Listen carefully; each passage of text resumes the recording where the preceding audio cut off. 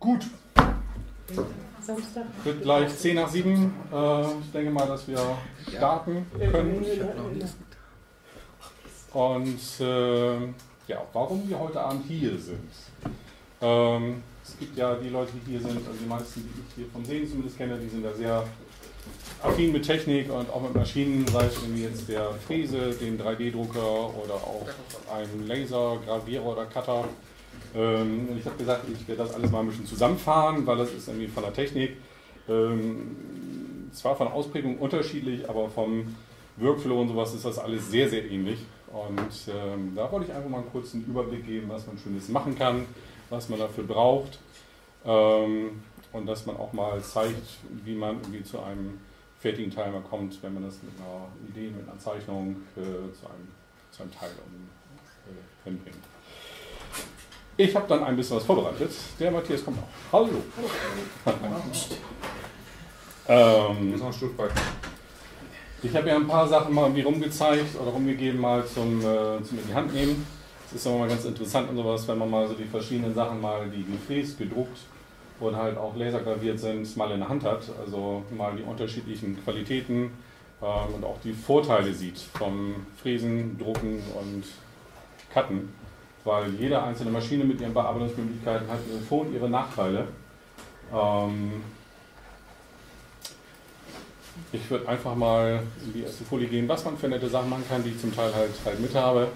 Also hier sind wirklich irgendwie von drei Maschinen gefertigte Teile. Das sind wirklich gefräste Teile, gedruckte Teile und lasergekattete Teile. Ähm, alle für sich in, ihrem, in ihrer Ausprägung äh, exakt richtig äh, umgesetzt. Ähm, wenn man zum Beispiel sehr feine Teile haben möchte, äh, die sehr leicht sein sollen und äh, sehr genau gefräst werden sollen, dann kann man zum Beispiel einen Lasercutter nehmen. Ein Lasercutter ist eingeschränkt in seiner Leistung, äh, zumindest die, die man zur Verfügung hat. Das heißt, man kann nur bestimmte Materialien bearbeiten bis zu bestimmten Stärken.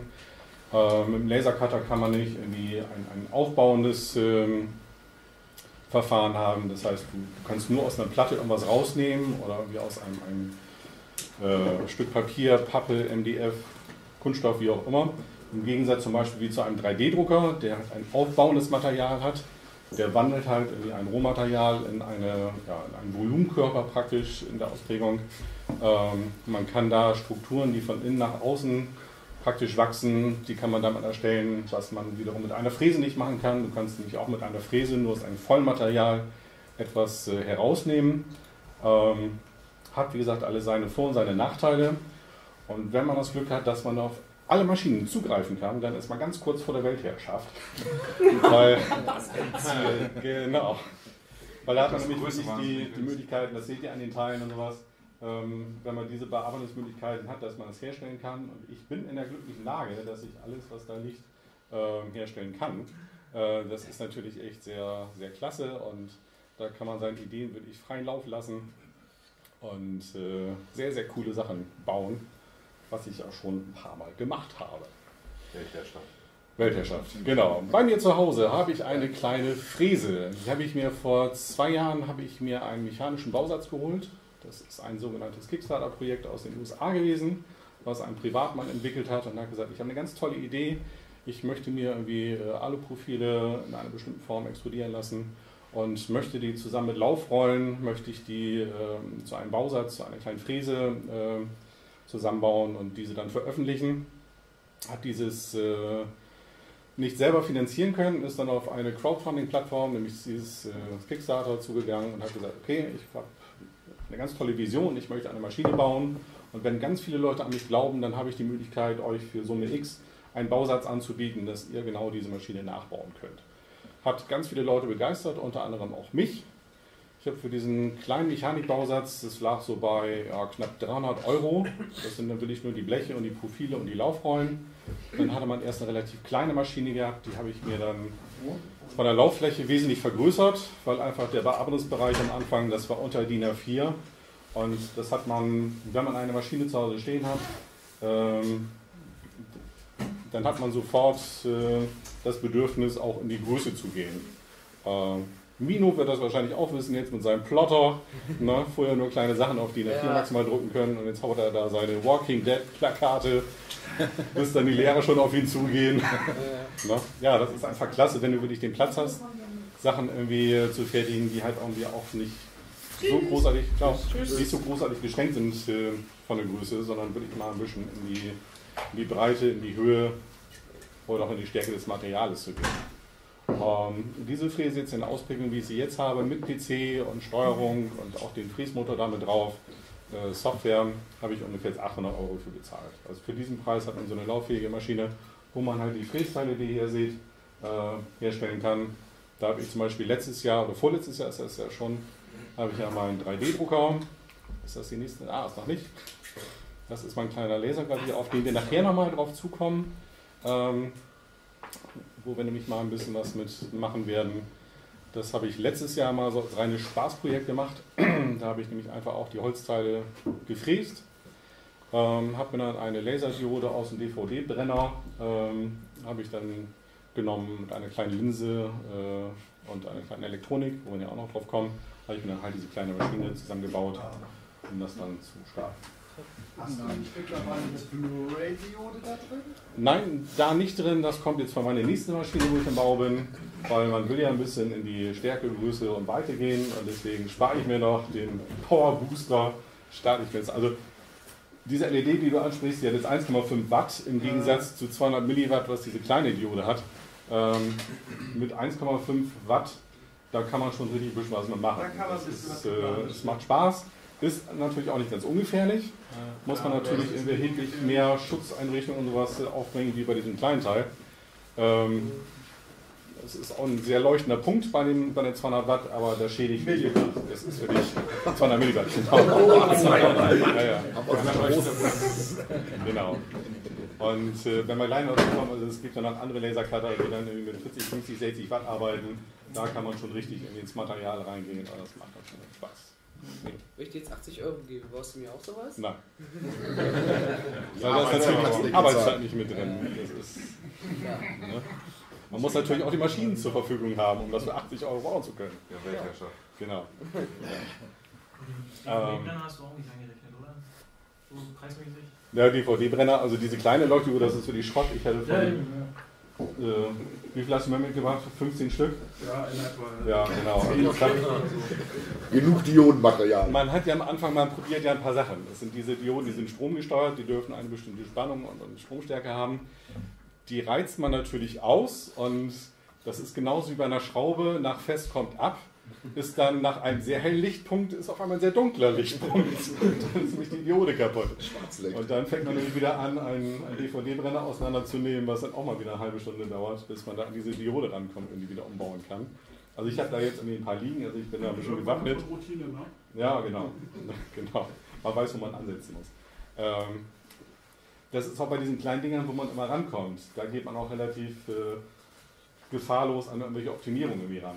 Wenn man sich eine Blu-ray ähm, Laserdiode holt, die ungefähr so 40 Euro kostet für 1,5 Watt, dann geht man da schon sehr viel behutsamer um. Weil da ist, ist wirklich die Experimente sind nicht so ausgeprägt. Äh, Bist du sicher, dass die Diode 1,5 Watt hat? Weil Blu-ray-Dioden sind auch nicht wesentlich äh, stärker als Das 200 sind, Blu-ray ist eigentlich falsch, das sind blaue Dioden aus den Beamern von Casio und ähnliches. Siehst du? Ah, okay. Die Blu-ray, die haben wir, siehst du auch kaum, ist fast ein V-Licht, Ah, Blu-ray. Und die kriegst du ungefähr bis 600 Milliwatt. Okay, habe ich heute wieder selber zugelernt. So, schön, dass wir hier sind. Wie Benno. Was du mir jetzt zeigst, das habe ich mal im Internet auch gefunden, das hat offensichtlich keine Diode, sondern tatsächlich eine Röhre. Exakt. Ähm, man muss zu dieser Maschine sagen, das ist eine, eine richtig schöne Maschine. Die kann man relativ günstig, kann man sich die bei eBay manchmal, also ich habe da immer mal seit einiger Zeit immer mal einen Blick drauf gehabt, die, die kann man nicht so kaufen. Die liegen sie jetzt so bei 650, 700 Euro, eigentlich regulär, manchmal auch wesentlich teurer. Ähm, und ich hatte jetzt irgendwie Anfang des Jahres mal geguckt und habe da ein super Schnäppchen entdeckt, nämlich halt für 460 Euro mit Versand. Und dann habe ich gesagt, okay, für mich selber ist mir der Spaß ein bisschen zu viel, zu teuer, ähm, weil man auch in die Gefahr läuft, dass man sich halt wirklich Mist holt. Ja, weil die Verarbeitung, die ist wirklich schlecht. Das muss man sagen. Also wir haben uns das Ja. Ding gekauft. Ähm, ich habe zur Finanzierung, ich habe auf die Mailingliste gefragt, wer bereit wäre, da ein bisschen was in den Topf reinzumachen, dass wir uns das mit ein paar Leuten mal kaufen. Und äh, da haben sich dann elf Leute gefunden und haben dann gesagt, okay, jeder packt da irgendwie 40 Euro oder 42 Euro da in, äh, in den Topf rein. Und dann haben wir dann zusammen haben wir das Ding ge gekauft. Ging innerhalb von drei Tagen habe ich das von England aus, also die haben das eBay UK äh, das angeboten. Äh, von drei Tagen ist das hier in Bremen gewesen ähm, und dann aufgebaut. Ähm, zu der Steuerung, ähm, da ist eine, das ist eine eigene Steuerung ist da mit drin. Also das ist kein Standard. Ähm, das ist halt irgendwie so, so ein China-Spezial. Ist auch nur ansteuerbar über ein sogenanntes Plugin von Corel Draw. Das heißt, du musst irgendwie einen PC haben und musst zwingenderweise Corel Draw installieren, um dieses Plugin zu installieren, um diesen Laser so wie er ist in Betrieb zu nehmen. Was natürlich hochgradig ungünstig ist für die Leute, die zum Beispiel mit Linux arbeiten oder auf dem Mac arbeiten, weil du das Ding dann definitiv nicht benutzen kannst. Das ist natürlich also ziemlicher Gurkenkram aus meiner Sicht. Deswegen war auch gleich von vornherein meine Intention, dass, äh, dass man einfach die Steuerung rausreißt und dass man da halt eine Standardsteuerung mit reinbaut. Die man halt, zum Beispiel, die man dann halt irgendwie über USB mit normalen PC mit einer Standardsoftware, die frei verfügbar ist, für alle Betriebssysteme betreiben kann. Ähm, das haben wir jetzt auch vorbereitet. Wir haben jetzt in der letzten Zeit haben uns ein paar Mal getroffen, um halt diese Maschine zum einen sicher zu machen und zum anderen auch auf eine mögliche andere Steuerung ähm, zuzuschneiden. Weil, äh, wie gesagt, in diesem Cowboy bin ich persönlich, also es läuft gut, also es wurde schon damit gearbeitet, privat zu Hause. Ähm, ich persönlich würde es gerne irgendwie offen lassen für alle Betriebssysteme und, und, und äh, ja, Software. Ähm, Klaus. Ja, aber das Schöne daran war, dass die von Anfang an gelaufen hatte und dass die Ja. auch ziemlich genau das gemacht hat, äh, was womit beworben worden ist. Also von dort Ja. aus war es ein guter Kauf gewesen. Nicht hinreichend für uns, deswegen arbeiten wir daran, das Genau. noch zu verbessern. Ich habe jetzt kein Bild von drin, beziehungsweise auch hinten von der Röhre an sich. Ähm, also hinten diese, diese weiße Abschlussklappe, die kann man hochklappen und dann ist wirklich über fast die gesamte Länge des Kastens ist das wirklich eine Glasröhre, eine Lasertube mit ähm, Wasserkühlungsröhren, die damit eingearbeitet sind. Also man muss auch definitiv mit Wasser kühlen, weil 40 Watt irgendwie zu erzeugen ähm, erzeugt einfach unheimlich viel Abwärme. Also das wird auch merklich warm, das Wasser, also das Kühlwasser, was da umgewälzt wird. Ähm, man muss aber wirklich erheblich umbauen. Also ist die Aufnahme von den Werkstücken, die man reinpackt, das ist völlig unzureichend gewesen. Ähm, es sind keine Sicherheitsoptionen drin gewesen, das heißt, da ist äh, nur ein Hauptschalter mit drin gewesen, das ist die einzige Sicherheit gewesen. Das heißt, man kann während des Betriebs die Klappe aufmachen, die Hand reinhalten oder den Finger ab. Ähm, Zigarette anzünden, ja, alles. ne? Also also typischerweise, das ist Laser wirklich, macht. wir haben jetzt einen Notschalter reingebaut, also Notausschalter, einen Schlüsselschalter. Wir haben äh, eine Temperaturüberwachung mit drin, wir haben eine Wasserflussüberwachung mit drin, wir haben einen Klappenschalter oder zwei Klappenschalter sogar, zwei kleine Schlüsselschalter. Damit nur Genau. Das ist übrigens genau, das ist die neue Klappe, also das silberne Teil da auf der rechten Seite, das wurde ausgetauscht gegen dieses hier. Da ist nämlich auch eine kleine, kleine LED-Anzeige mit drauf, wo man halt Temperatur und wie ist die, die Fließgeschwindigkeit vom Wasser und sowas. Es wird alles sehr, sehr fein, sehr, sehr schön. Wurde auch alles sehr kompetent elektrisch verdrahtet und wird dann natürlich auch abgenommen, weil das Ziel ist es, dass wir eventuell diese Maschine hier in den Space stellen. Dass die nämlich hier in die Werkstatt hinten reinkommt. Ähm, Voraussetzung ist dafür, dass wir das halt sicher betreiben können, äh, mit einem Schutz betreiben können. Das heißt, dass nicht jeder irgendwie damit rumhantieren kann, der da keine Einweisung hat. Äh, deswegen haben wir wirklich gesagt, dass äh, diese Maschine nur in Betrieb genommen werden kann, wenn die Besitzer, die halt irgendwie bezahlt haben dafür die Maschine, wenn die anwesend sind, weil auch nur die haben den Schlüssel für die Maschine, die wissen, wie man damit umgeht und was man beachten muss. Ähm, also noch ein paar andere Sachen zu beachten, was ich äh, Rauchabsaugung und, Feuerschutz, also deswegen auch der Feuerlöscher, das ist halt auch für die Maschine. Ähm, also wir freuen uns schon drauf, wenn das Ding irgendwie funktionieren will, weil da kann nämlich genau solche Sachen, das Holz, was da zum Beispiel liegt, ähm, da kann man wirklich irgendwie mit ganz feinen Schnitten, kann man irgendwie aus Holz und Kunststoff, kann man da Sachen ausfräsen. Das ist schon sehr, sehr, sehr, sehr, sehr, sehr cool. Und der, und Ja. der Das ist aber ein Schaumlöscher, ne? Das ist ein, ein das ist kein Schaumlöscher, das ist ein äh, ähm, Nee, CO2 auch nicht. Das ist so ein Spritzlöscher. Da ist so eine Flüssigkeit, die, die kommt da raus. Ja. Weil du hast, äh, Pulverlöscher wäre natürlich fatal. Da ist dann natürlich die ganze Maschine gleich sofort kaputt, wenn man da halt mal Schaum auch. dran. Mit Schaum auch, genau. Ich weiß jetzt nicht genau, wie das mit dem Zeugs ist.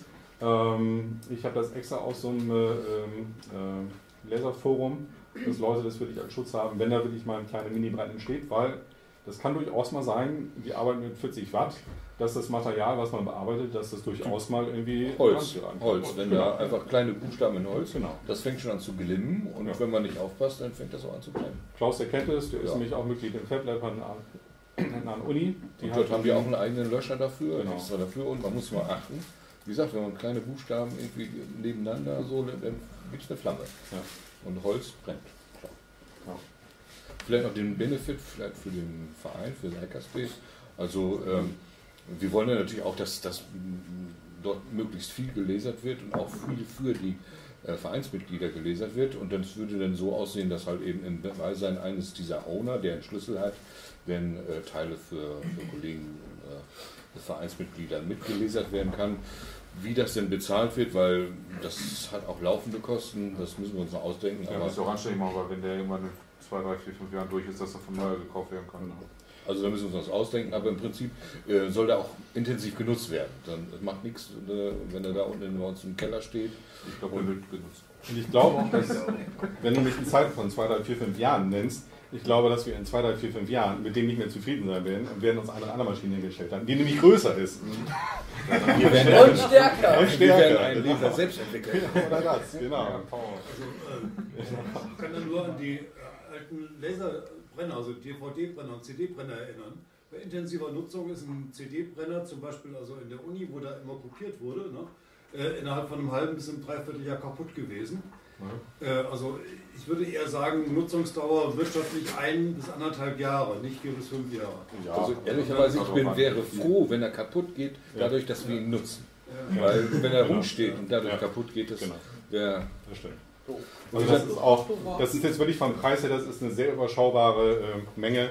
Ähm, das ist auch, die, wie gesagt, die Gefahr gewesen, man hätte ja auch einen Haufen Schrott kriegen können und man hätte irgendwie einen einen Händler in China verklagen müssen, wo man gesagt hätte, okay, das ist jetzt eine, eine Totalabschreibung, dann wäre es für jeden aber nur 40 Euro gewesen und dann wäre es okay gewesen. Wir haben Aber glaube ich, ein Beispiel hier in der Nachbarschaft. Hier, der, Genau.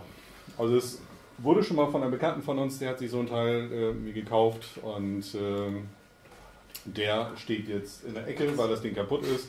Das Ding, wenn du das einschaltest, bekommst du sofort einen Schlag, äh, weil auch immer mal Wasser ausgelaufen ist, auch auf die Elektronik. Und äh, da ist ein Hochspannungsnetzteil drin, was mit 40.000 Volt arbeitet. Muss man wissen, ob man da anpacken möchte. Also äh, das Ding liegt in der Ecke. Der hat sich jetzt ein, ein anderes Gerät geholt, auch als Bausatz. Größer und stärker. ne? Und ist wirklich da, ähm, das ist seine berufliche Existenz. Also der baut mit diesen Sachen, baut er kleine Kunstwerke und, und äh, viel für Werbepartner, dass er Sachen damit macht und äh, ist da sehr erfolgreich mit. Also ist da ziemlich gut unterwegs und macht richtig tolle Sachen. Ist hier im äh, Ansgari Passage, Ansgari Kirchhof. Ansgari Kirchhof, glaube ich, heißt das. Solange es noch steht, also das soll jetzt irgendwie demnächst platt gemacht werden, aber da in, in dem äh, Gebäudeensemble hat er unten da seinen kleinen Laden. Das Äh, nee, Leutpassage nicht. Das ist, glaube ich, Ansgari. Ja, ja. Egal. Ne? Non-Essentials, also wer sich mal einen großen Laser in Aktion äh, angucken möchte und Sachen, die man noch richtig professionell machen kann, das ist ein ganz netter Typ, da kann man echt mal vorbeigehen. Schönen Gruß vom Hackerspace, der kennt uns. Ja. Ein 3D-Drucker. Ah, Den kennt ja nun wirklich keiner. Ja, ein weltweit großer Erfolg, genau. Ähm, fing an mit einer Silberstahlwelle und einem Lineallager, was ich mir bei eBay mal gekauft habe. Ähm, und das ist ausgeartet zu einer relativ großen Maschine, ähm, die aber total klasse läuft. Also das ist ein, ist ein Drucker, den ich komplett selber entwickelt und gebaut habe, ähm, der gleich vom ersten Druck also wesentlich bessere Qualität hatte, wie ich es selber zu hoffen gewagt habe. Ähm, Frage zu dem Teil. Wie viel zieht das Teil in voller Aktion? Das ist nicht viel. Lass das vielleicht 50, 60 Watt sein und sowas bei 12 Volt. Ja, das ist, Du musst dann nicht die Beleuchtung ausschalten. Ja, die Beleuchtung ist das Wenigste. Also das Wie lange hast du da dran gebaut? Zwei ähm, Wochen bis zwei also du brauchst ungefähr sechs Wochen, bis du so 80% oder 90% der Maschine fertig hast. Und dann brauchst du für die restlichen 20 oder äh, 10%, da brauchst du nochmal mindestens die gleiche Zeit. Also ich bin da so, so drei Monate, dreieinhalb Monate bin ich da am, am Umtrainieren gewesen. Weil wenn du erstmal das Ding zusammengebaut hast, dann geht das los konfigurieren. Und dann, dann musst du ein paar Sachen umbauen, weil du manchmal sagst, oh, ich habe das total schwachsinnig konstruiert, ich muss das anders machen, ich muss das neu machen. Weil dann fangen die Probleme an, dann hast du Nivellierung von deinem Bett, das ist schief das muss nachzustellbar sein.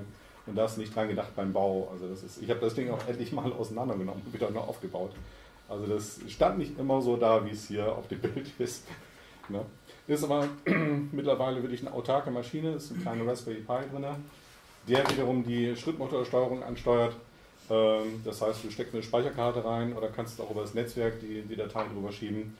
Und der arbeitet dann wirklich allein die, die Sachen ab. Also das heißt, du kannst nachts kannst du einen Schlüsselschalter für die Beleuchtung ausschalten und der ist dann acht Stunden lang am Druck und wenn ich morgens zur Arbeit fahre, nehme ich die fertigen Sachen raus, schalte das Ding ab und, und äh, fahre dann zur Arbeit. Also da bin ich auch völlig entspannt, den nachts irgendwie mal stundenlang äh, drucken zu lassen. Da ich Deswegen zwei Schlüsselschalter.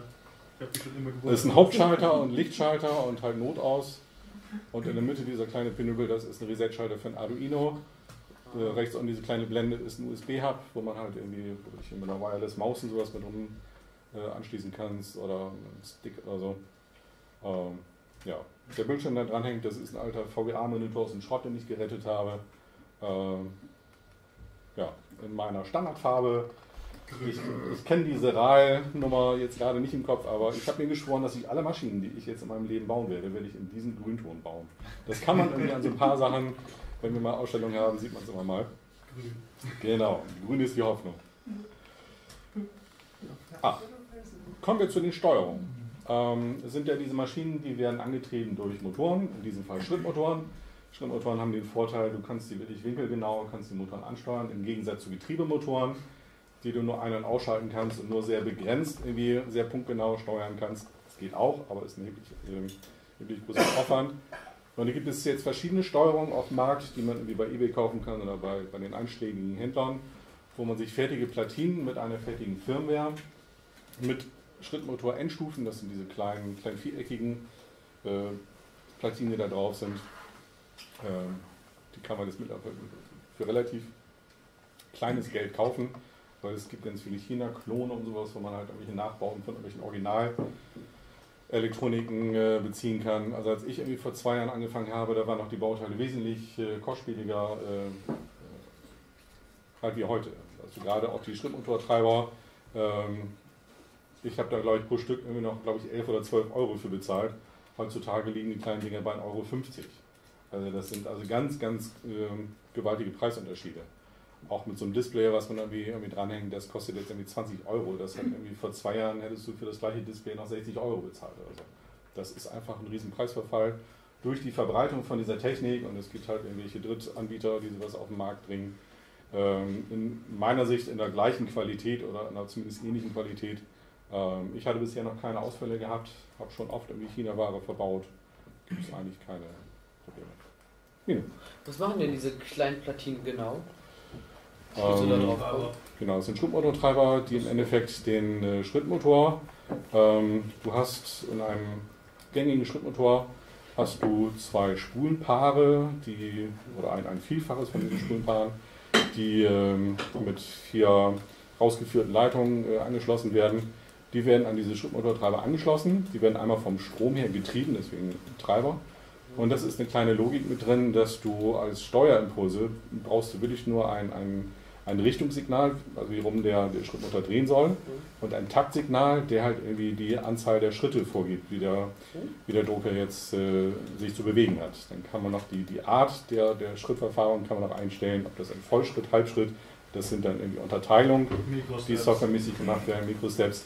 Das geht dann irgendwie, das ist dann leichtläufiger, dann geht aber Drehmoment runter und kommt nicht auf die hohen Geschwindigkeiten. Das sind alles so Erfahrungswerte, die man mal äh, bekommen wird, wenn man halt mit diesen, diesen Sachen arbeitet. Ah, Wo ich aktuell gerade bei bin, wo wir gerade bei den Schrittmotortreibern sind.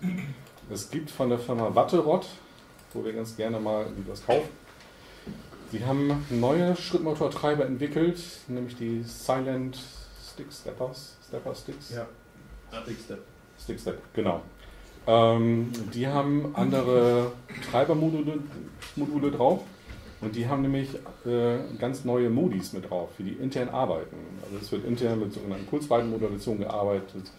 Ähm, und es gibt dann Modis, wo einmal das Drehmoment entweder erheblich ähm, verstärkt werden kann oder was für mich sehr viel interessanter ist, dass die Motoren sehr viel leiser angesteuert werden.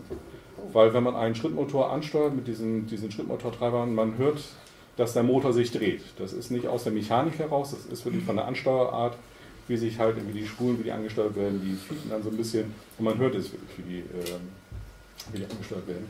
Und diesen neuen Treibern, die auch ja, pro Stück jetzt um die 10 Euro kosten, ich habe nämlich gerade vorgestern welche bestellt, ähm, ist wirklich die, die, die Verfahrung von diesen Motoren fast unhörbar geworden. Also ich habe da Videos von gesehen und ich bin darin übergefallen.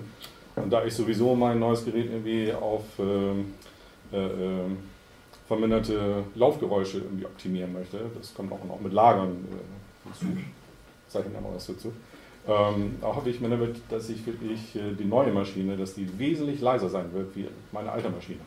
Weil da ist es nämlich so, wenn ich die laufen lasse, ähm, man möchte nicht unbedingt da die, die ganzen acht Stunden daneben sitzen. Weil das sind wirklich die Laufgeräusche von, dem, von Mechanik, es sind die Motorengeräusche, es sind die Lüftergeräusche. Ich habe jetzt lüfterlose Netzteile bei mir drin. Ähm, also ich habe jetzt drei Sachen, die ich eliminieren möchte, die jetzt wirklich die Lautstärke erzeugen. Ich habe den äh, zu Hause schon ausprobiert. Aha. Also es- Im Gegensatz zu der Vorgängervariante sind die wirklich, äh, also man hört es kaum noch. Also Ja. das ist mehr äh, die Mechanik, die man dann Ja. hört, die Welle und äh, da das Kugellager, was dann halt quietscht, wenn es nicht Ja. ordentlich geölt ist, als halt dann den Motor, der halt vorher doch wirklich ein ordentliches Piepen dann von Ja. sich gegeben hat. Das ist natürlich auch zum Beispiel ganz spannend und sowas. Wir haben unseren ähm, Fotografen, unser Michael, der seine Filmschiene hat, wo er halt seine äh, Zeitrafferaufnahme macht. Ähm, wenn die Schiene verfährt und sowas, das ist einfach laut. Das ist, äh, man hört merklich und sowas, dass der Motor verfahren wird. Ähm, man könnte auch zum Beispiel kein Video drehen, weil das ist einfach, du hättest die Laufgeräusche, ähm, wäre für ein Video, also der Ton, der wäre einfach hin. Ähm, das soll würde, jetzt. das, würde dann, das würde dann direkt auf die Mikrofonkapsel mechanisch eingekoppelt werden. Wahrscheinlich. Auch, genau, aber du hast aber auch schon die, die, ähm, die, die äh, der Schall, der einfach austritt. Das Ja. ist der, der geht darüber. Und ich habe da Videos von gesehen, wie nämlich gerade hier so eine Slider-Mechanik mit diesen neuen Schrittmotortreibern angetrieben wird. Und das ist, also man hört nichts mehr. Das ist, also ich war echt baff. Ich hatte auch mit den Stefan Wachter heute mal ein bisschen hin und her geschrieben, weil die jetzt also gerade auch eine neue Version rausgebracht haben von dieser Platine. Ähm, das ist ganz spannend und sowas, an so einer Entwicklung dann teilzunehmen und sowas, wie das jetzt noch auf den Markt kommt. Die sind aber nicht mit dem Rams kompatibel, oder? Doch, Okay. Die haben sogar jetzt noch mehr Steuersignale, die rausgeführt sind, die man noch separat beschalten muss. Also man kann die so stumpf reinstecken, dann Mhm. arbeiten die in so einem Standardmodus. Wenn man aber diesen leisen Modus, dann muss man halt irgendwie noch irgendwie, Ja, okay. es gibt so drei, drei Pins und sowas, die man halt entsprechend beschalten muss. Da gibt es jetzt auch nicht einfach nur gesteckt oder nicht gesteckt, es gibt jetzt irgendwie nicht gesteckt, positiv oder negativ. Also es gibt jetzt irgendwie drei Statis, die man jetzt irgendwie einstellen kann äh, an diesen, diesen Steuersignalen. Äh, Silent Step Stick. Die sind jetzt wieder ausverkauft, weil die letzten zwei ich gekauft genau. Ja, eine weitere Steuerung, äh, die habe ich nämlich zum Beispiel in meinen Lasergravierer eingebaut. Das ist die, äh, ja, auf Basis eines Arduino Unos, ein Aufsteckschild, genau, das können wir rumgeben. Das ist das sogenannte CNC-Shield, das ist irgendwie von einer neuseeländischen Entwicklertruppe äh, entwickelt worden. Die gibt es jetzt für einen Bruchteil des Preises auch von irgendwelchen China-Anbietern. Die Platine kostet mittlerweile unter 5 Euro, ähm, plus allerdings die Schrittmotortreiber, die da drauf sind. Und ähm, es gibt da eine Standard-Firmware, die man draufpacken kann, nämlich dieses GABL. Ähm, das ist auch eine freie Firmware, die ständig weiterentwickelt wird. Die kann man einfach auf den UNO raufspielen, der dann allerdings auch mit seinem Speicher, den er hat, völlig ausgereizt ist. Also man kann mit dieser Steuerung keinen 3D-Drucker mehr mit steuern, weil da einfach die Funktion der Temperatursteuerung, der Heizbettsteuerung ähm, einfach überlastet wäre. Du kannst wirklich, du hast auch nicht mehr genug Pins. Das kommt auch noch damit zu, dass du bei einem 3D-Drucker, du hast nochmal eine ganze Ecke mehr Steuersignale, die du abfragen musst, um da halt irgendwie äh, ja, die ganze Sensorik irgendwie aufzunehmen. Ist aber ideal gerade so für kleine Fräsen oder für einen äh, Lasergravierer, der nur zwei Achsen hat. Ähm, da kann man sich wirklich für ganz günstiges Geld, kann man sich da wirklich eine Steuerung aufbauen, um da wirklich mal was zu verfahren. Ich weiß, der Jens Leopold, der irgendwie auch äh, sich da so einen kleinen Lasergravierer gebaut hat, der das auch auf Basis von diesem, diesem GRWL gemacht und der hat sich wirklich auch einen schönen kleinen, kleinen DIN A4 Lasergravierer gebaut und das Ding hat irgendwie insgesamt 40 Euro gekostet und funktioniert. Ja. Kann man mit Standardsoftware kann man das betreiben. Zeigen wir nachher nochmal. Aber diese Schrittuntertreiber, die, die da drauf sind, Das sind die gleichen, die auch vorhin in dem Ramsbau drauf waren. Hier mit einer, mit einer roten Platine, die unterscheiden sich nur farblich und auch intern so ein bisschen mit irgendwelchen Messwiderständen und so. Da muss man ein bisschen drauf, drauf achten. Da kann man noch in so einem kleinen Poti kann man die, die Stromstärke der Motoren einstellen. Äh, da gibt es so Berechnungsformeln, wie man das einstellt. Ja. Ja, das ist die Steuerung, die habe ich hier auch noch liegen irgendwo. Das war meine allererste Steuerung, die ich mir gekauft habe für meine CNC-Fräse. Äh, war zu dem Zeitpunkt war das so ein quasi Standard bei eBay. Das Ding ist totaler Müll. ähm, ja, weil die Steuerung, die ist. Ähm, ja, klar. Ähm, die ist wahnsinnig laut. Das heißt, du schließt Motoren an und die Steuerung, die fiebt. Also nicht nur die Motoren, sondern auch die, die Schubmotortreiber, die drauf sind. Ähm, die Platine hat keine eigene Logik drauf. Das heißt, du kannst da äh, nicht einfach einen, einen, einen ähm, sogenannten G-Code irgendwie raufschicken, der dann halt die Befehle abarbeitet, sondern der hat eine parallele Schnittstelle drauf. Das heißt, du musst die Steuersignale für die Motoren muss man über einen PC erzeugen. Ähm, wenn man noch einen hat mit parallel, das ist genau das Problem. Ähm, ja, also diese Steuerung, die habe ich relativ schnell wieder rausgerissen und habe eine andere reingepackt, die allerdings auch über Parallelport läuft, aber mit der ich wirklich null Probleme habe. Und seitdem läuft das, äh, läuft meine Fräse halt mit dieser neuen Steuerung. Aber diese Steuerung, die ist echt. Äh, wenn jemand ein Projekt hat und da mit einer Steuerung mal rumprobieren möchte, stelle ich es gerne zur Verfügung. Nett ist, dass da so ein kleines Bedienpult mit bei ist, genauso so ein kleines Handgerät. Das heißt, darüber kann man auch die Maschine von Hand verfahren. Das ist ein nettes Gimmick. Das kann man aber auch relativ einfach äh, sich zusätzlich basteln bei diesen anderen Steuerungen. und zum Beispiel 13, 14 Euro für Mega. Ja. Das war teuer. Ah. Mega kostet 8 Euro in China. Ich will noch einmal kurz kommen zu Begrifflichkeiten, äh, die sich in Umfeld. lang noch bei 12 Euro. Klaus, Garen, habt ihr was dazu zu sagen? Nein. Gut. Äh, Äh, Marco, das, ja, ne? ähm, es begegnen uns in der, in der Welt CNC-Druck und sowas immer wieder so Begrifflichkeiten, die man mal gehört hat, aber die man äh, vielleicht nicht unbedingt irgendwie auf dem Schirm hat. Deswegen habe ich die hier nochmal zusammengefasst. Was halt CAD, CAM, CNC, G-Code, D-Druck. Also das sind halt also die Begriffe, wo man halt in dem Bereich permanent zu tun hat, obwohl man es manchmal gar nicht weiß. Also wenn man eine technische Zeichnung macht, dann ist man im CAD-Bereich unterwegs. Wenn man irgendwie die Maschine einrichtet, dann ist man im CAM-Bereich unterwegs, obwohl man das vielleicht manchmal gar nicht weiß. Ähm, man arbeitet mit einer Steuerung, das ist eine CNC-Steuerung. Ähm, ähm, was interessant ist, der, in der Mitte der, der Begriff G-Code hat vielleicht der eine oder andere mal gehört. Der G-Code, das ist eine Maschinensprache, die kommt irgendwie aus den 60ern, also schon ziemlich alt.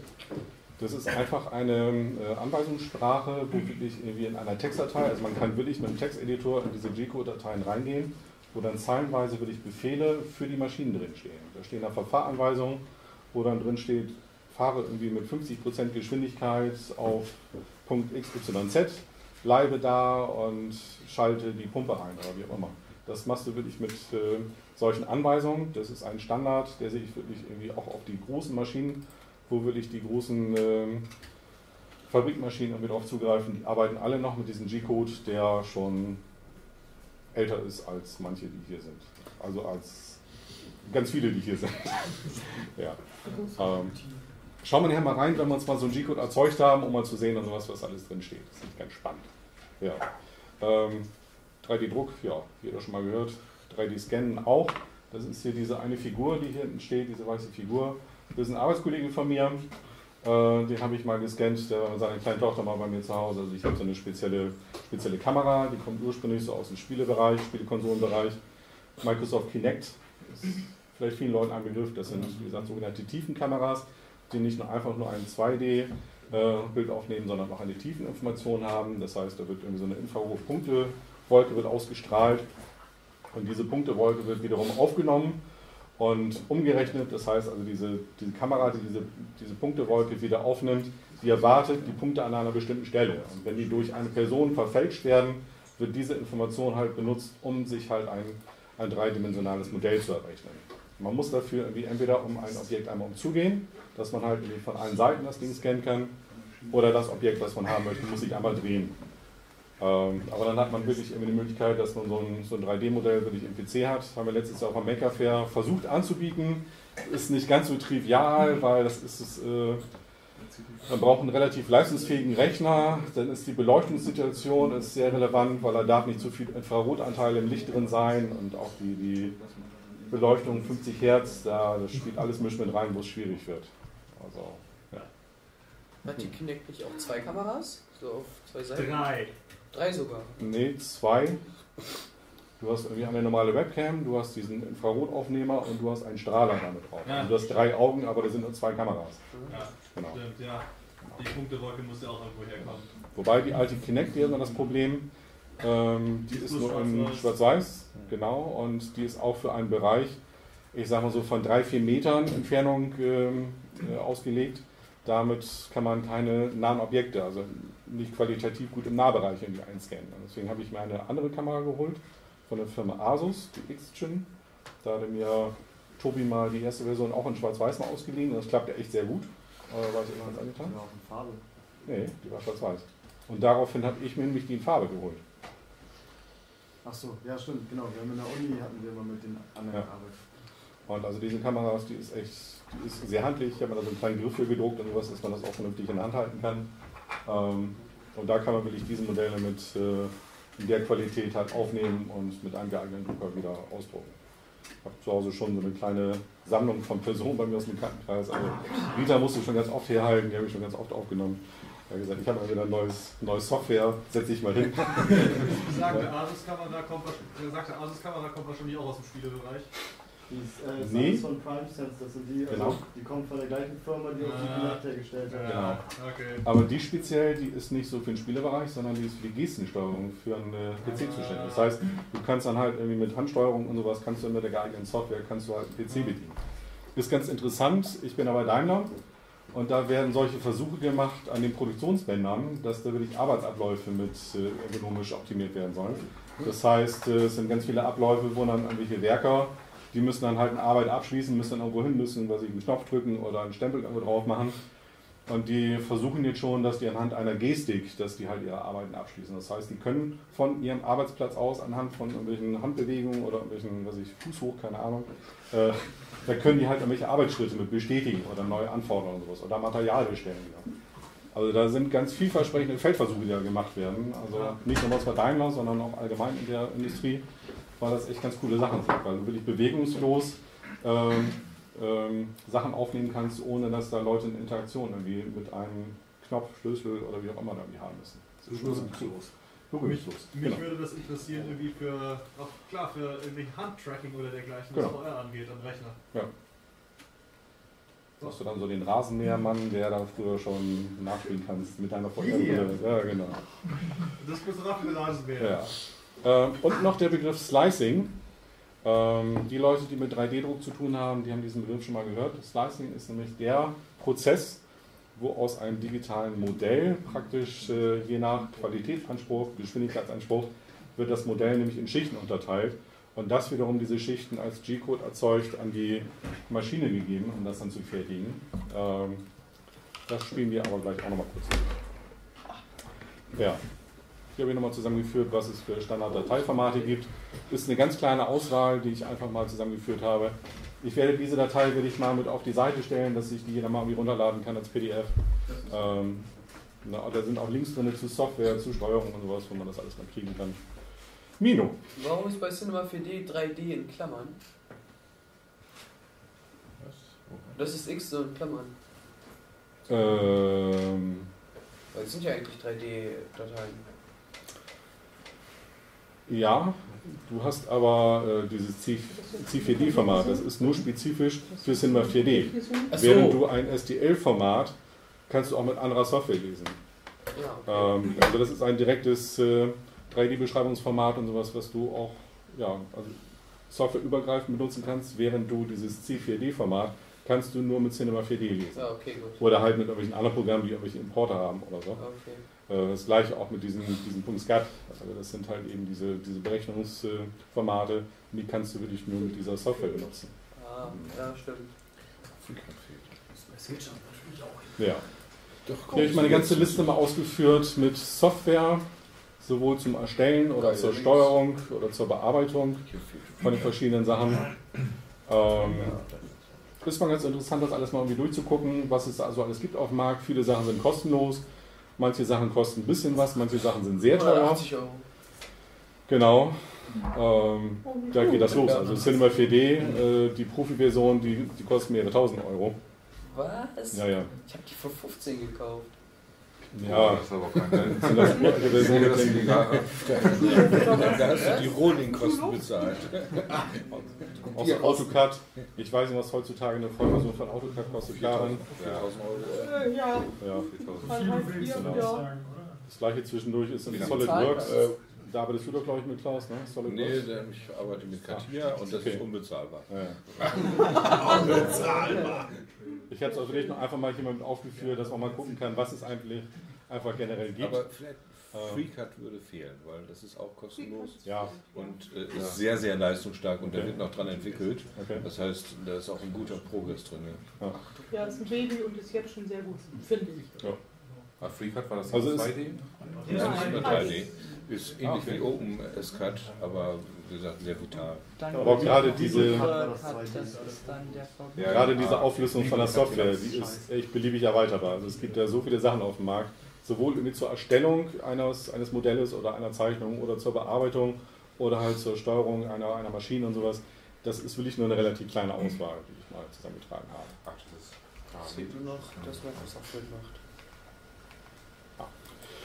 Ja, der Funktionsprozess, wenn man halt äh, sich ein Teil erstellt, welche Schritte müssen da durchgegangen werden? Das geht wirklich los, dass man sich entweder ein fertiges Modell aus dem Internet, es gibt ja Datenbanken wie zum Beispiel Thingiverse, die bekannteste, oder äh, mir fällt jetzt keine weitere ein, es ist, ich bin schon so, so konditioniert auf diese Datenbank. Also es gibt, also in vielen Bereichen gibt es halt äh, kostenlose, zum Teil auch kostenpflichtige Modelle, die man sich runterladen kann. Im 2D-Bereich, im 3D-Bereich.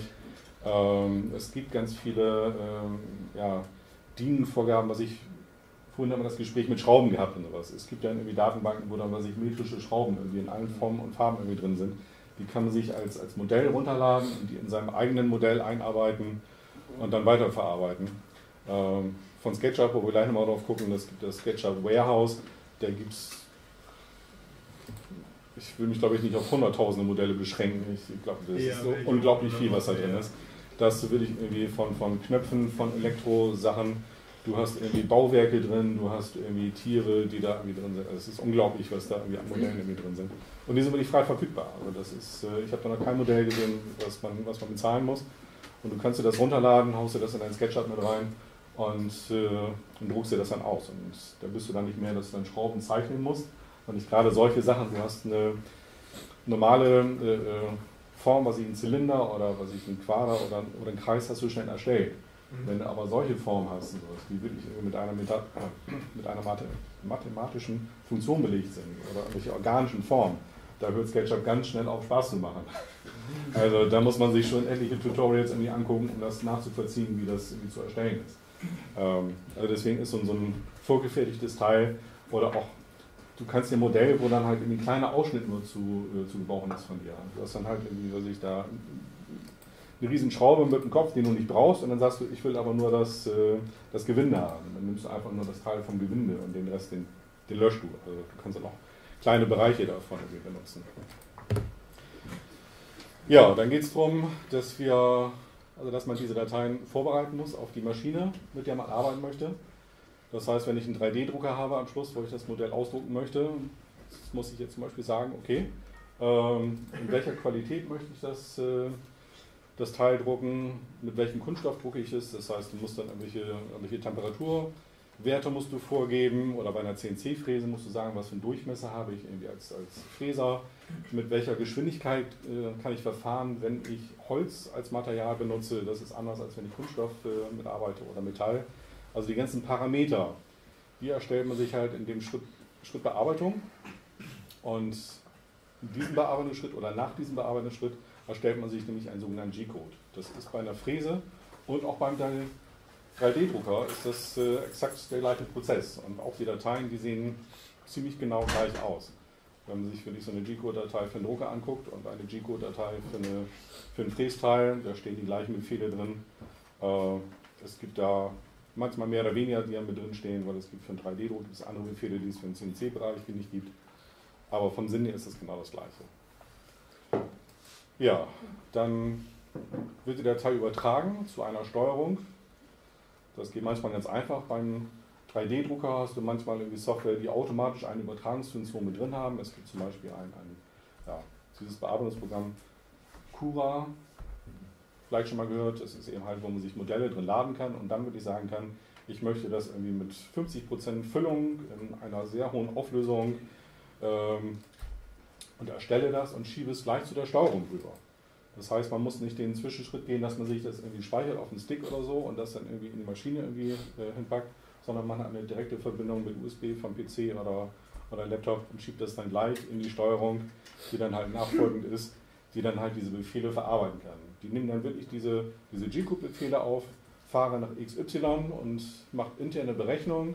Ich muss so und so viele Schritte als, äh, als der Takt irgendwie auf den äh, Schrittmotortreiber geben und der Motor dreht sich dann irgendwie für 3 cm insgesamt 120 Mal, ähm, bis er dann diesen Punkt angefahren hat. Ja, und das macht halt am Schluss, dass dann halt die Maschine, die halt an der Steuerung hängt, dass die dann halt das Teil fertigt. Und genau an dem Schritt, das ist nochmal der, der genaue Vorgang, den man, den man macht. Würde ich jetzt gerne mal an einem praktischen Beispiel damit zeigen. Einmal an einem Video, was ich nämlich zu Hause mal erstellt habe mit meiner kleinen Fräse. So, was wir jetzt noch machen müssen, dass Die wir Stimme kennt ihr? Material einspannen. Ja, Dafür habe ich die mal vorbereitet, nämlich MDF. Das spannen wir ein. Was wir legen so Entschuldigung. Ziehen das Ganze. Machst du vielleicht mal das Licht aus? Das sind äh, Spannvorrichtungen. Die werden einfach in das Brett geschraubt. Jetzt doch einfach das Gewinde eingeschnitten. Das ist einfach. Schrauben dann zu Oder als einzudrehen. Jemand. Rechter Maustaste. Das Prinzip, ja. F11. Das nicht hin und her fahren kann. Das ist richtig fest unter dem Tisch verschraubt.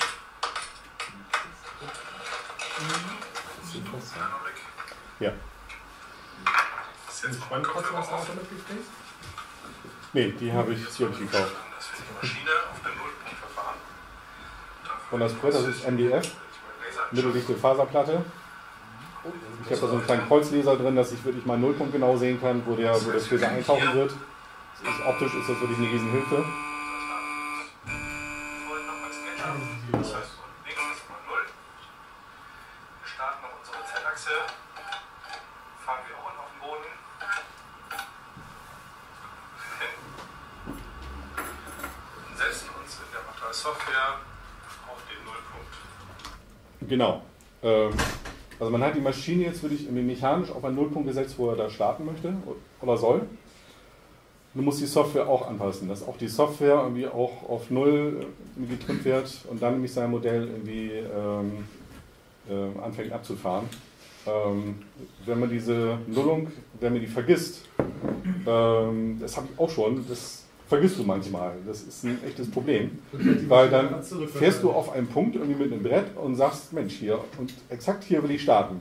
Und dann startest du deine Software und der fährt dann schräg durch das Material durch und sowas, weil er auf seinen ursprünglichen Nullpunkt rausfahren möchte, weil man den nicht genullt hat. Und äh, das ist ein Riesenproblem.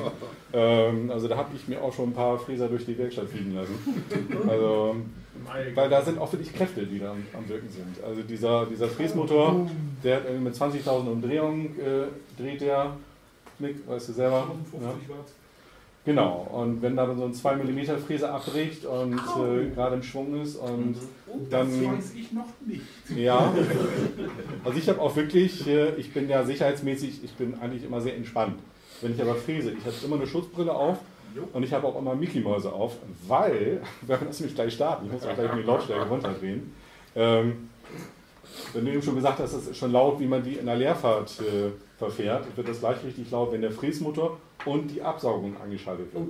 Du hast halt eine Staubabsaugung, das ist hier dieser Schlauch, der links neben dem Fräsmotor. Das ist einfach der Schlauch vom Staubsauger. Da kommt unten dieser kleine schräge Kasten, der saugt unten den Staub hoch und, und äh, Nachbarn. Das ist das Ding ja auch irgendwie einhausen, ne? Man könnte es einhausen, ähm, das ist aber alles Platz, den du dann halt mietest. Das ist dann irgendwie ein Riesenkasten. Ja. Ähm, wo du sagst mit Nachbarn, das ist durchaus, dass dann irgendwie meine Nachbarin, der mir dann irgendwie im Garten sagt, Mensch, André, hast du gestern wieder gefräst? Hast du. genau. Schön ist das auch mit der Drehbank. Ich habe eine alte Drehbank bei mir zu Hause und die ist richtig schön irgendwie im Boden verschraubt und sowas. Und da hast du wirklich jede Unwucht und sowas wird komplett irgendwie durch unsere Häuserreihe wird getragen. Also da hat auch nicht meine direkte Nachbarin nur was von, sondern auch weitere Nachbarn. Die sprechen mich wirklich drauf an, André, hast du eine neue Maschine? Was ist das? Andres akustisches Ja, Informationssystem. das stimmt. Also, ich habe da so einen Deal mit den direkten Nachbarn, die können auch manchmal Musik ein bisschen lauter machen, was mich dann auch manchmal nervt, aber ich sage, okay André, wir müssen alle mal Kröten schlucken. Mechanische Anfallpunkt, den wir jetzt dahin gefahren haben, und der Nullpunkt in der Software stimmen überein. Von hier aus fängt er dann an, jetzt seine Fräse loszufahren. Das wird jetzt sehr, sehr laut. Ich weiß nicht genau, ob man das jetzt verstehen wird und kann. Aber ich würde jetzt einfach mal den Motor anmachen, danach die Absaugung Also und danach den. Vorgang starten und einfach mal laufen lassen.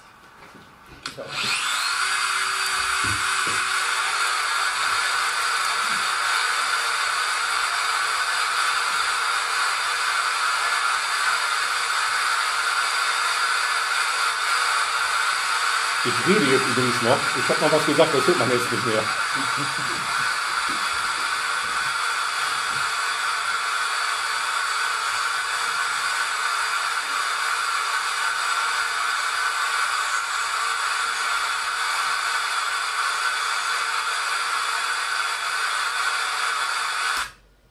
Was man da jetzt sieht, ähm, der fährt jetzt mehrfach diese, diesen Kreis ab, der jetzt in, in dem Fall ist.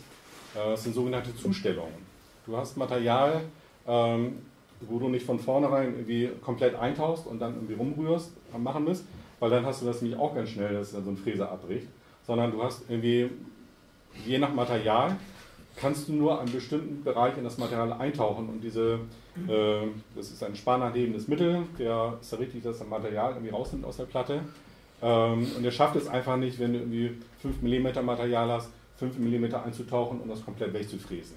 Das ist einfach, äh, mit dieser Mechanik ist das äh, sehr schwierig und deswegen kann man halt mit einem kleinen Trick, dass man sagt, okay, ich fahre nicht 5 mm im Stück ab, sondern 5 mal 1 mm.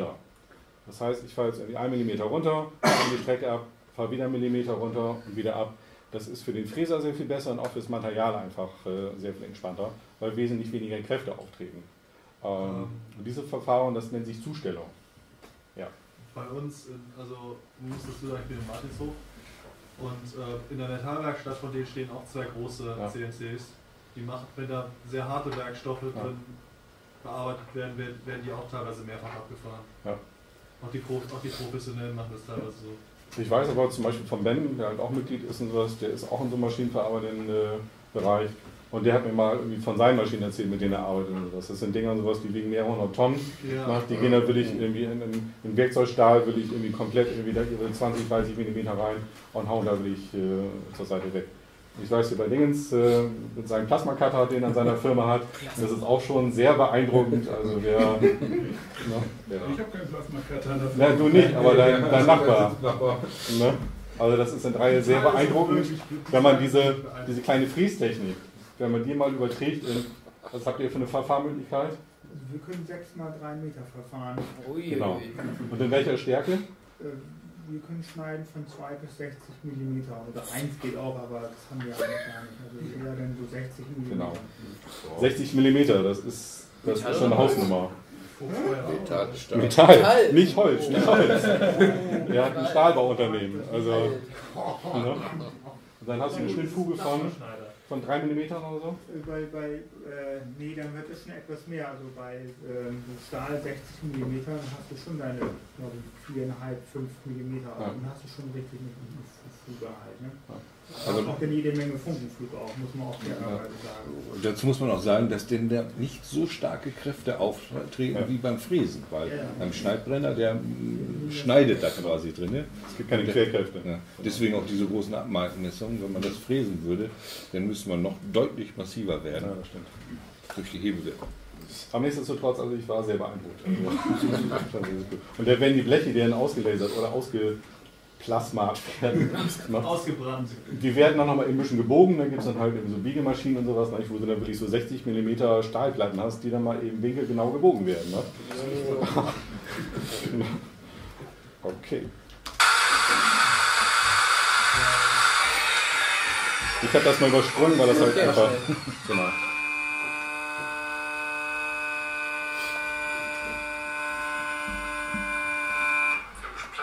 Ist dann doch relativ unspektakulär. Ist das ein Staubsauger? Was man, ja, was man übrigens eben gesehen hat, ähm, dass die ganze Konstruktion ganz schön wackelt. Allein schon, wenn ich den Schlauch ausziehe. Das ist irgendwie, wenn man einen richtigen Maschinenbauer äh, hier hätte und der würde diese Maschine sehen. Die wackelt, wenn man einen Staubsaugerschlauch irgendwie rauszieht oder was. Sagen, was ist denn das für eine Krise? Der würde heulen. Ja, also das ist. Man muss auch. Ja, Käsefräse. ja, ja, genau.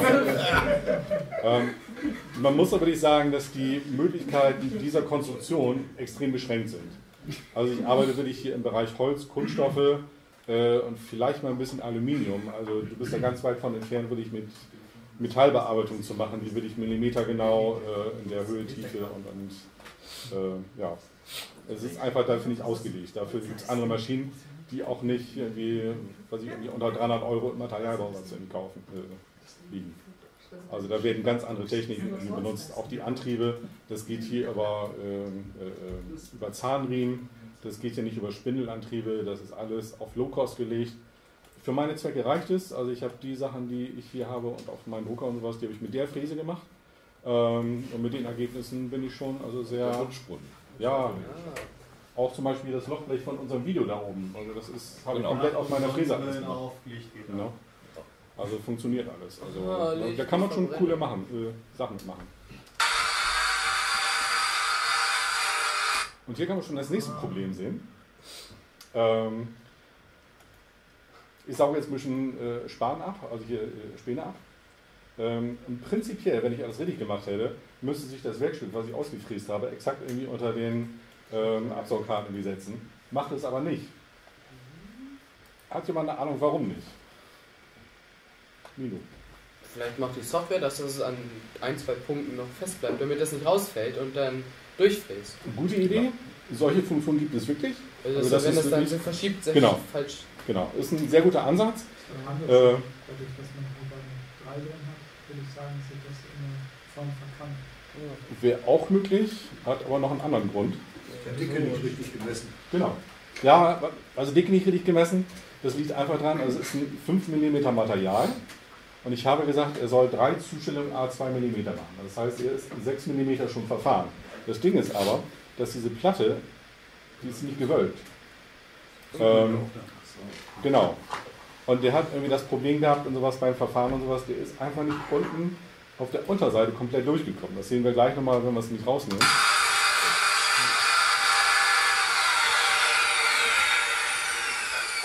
Du hast ja die Wölbung hergestellt durch dieses Zusammendrücken da Schlüssel. Nee, das hast du manchmal, wenn, im, Und, äh, wenn du aus dem Baumarkt, gerade hier bei Bauhaus, du holst echt da Holz, was so verzogen ist. Ja.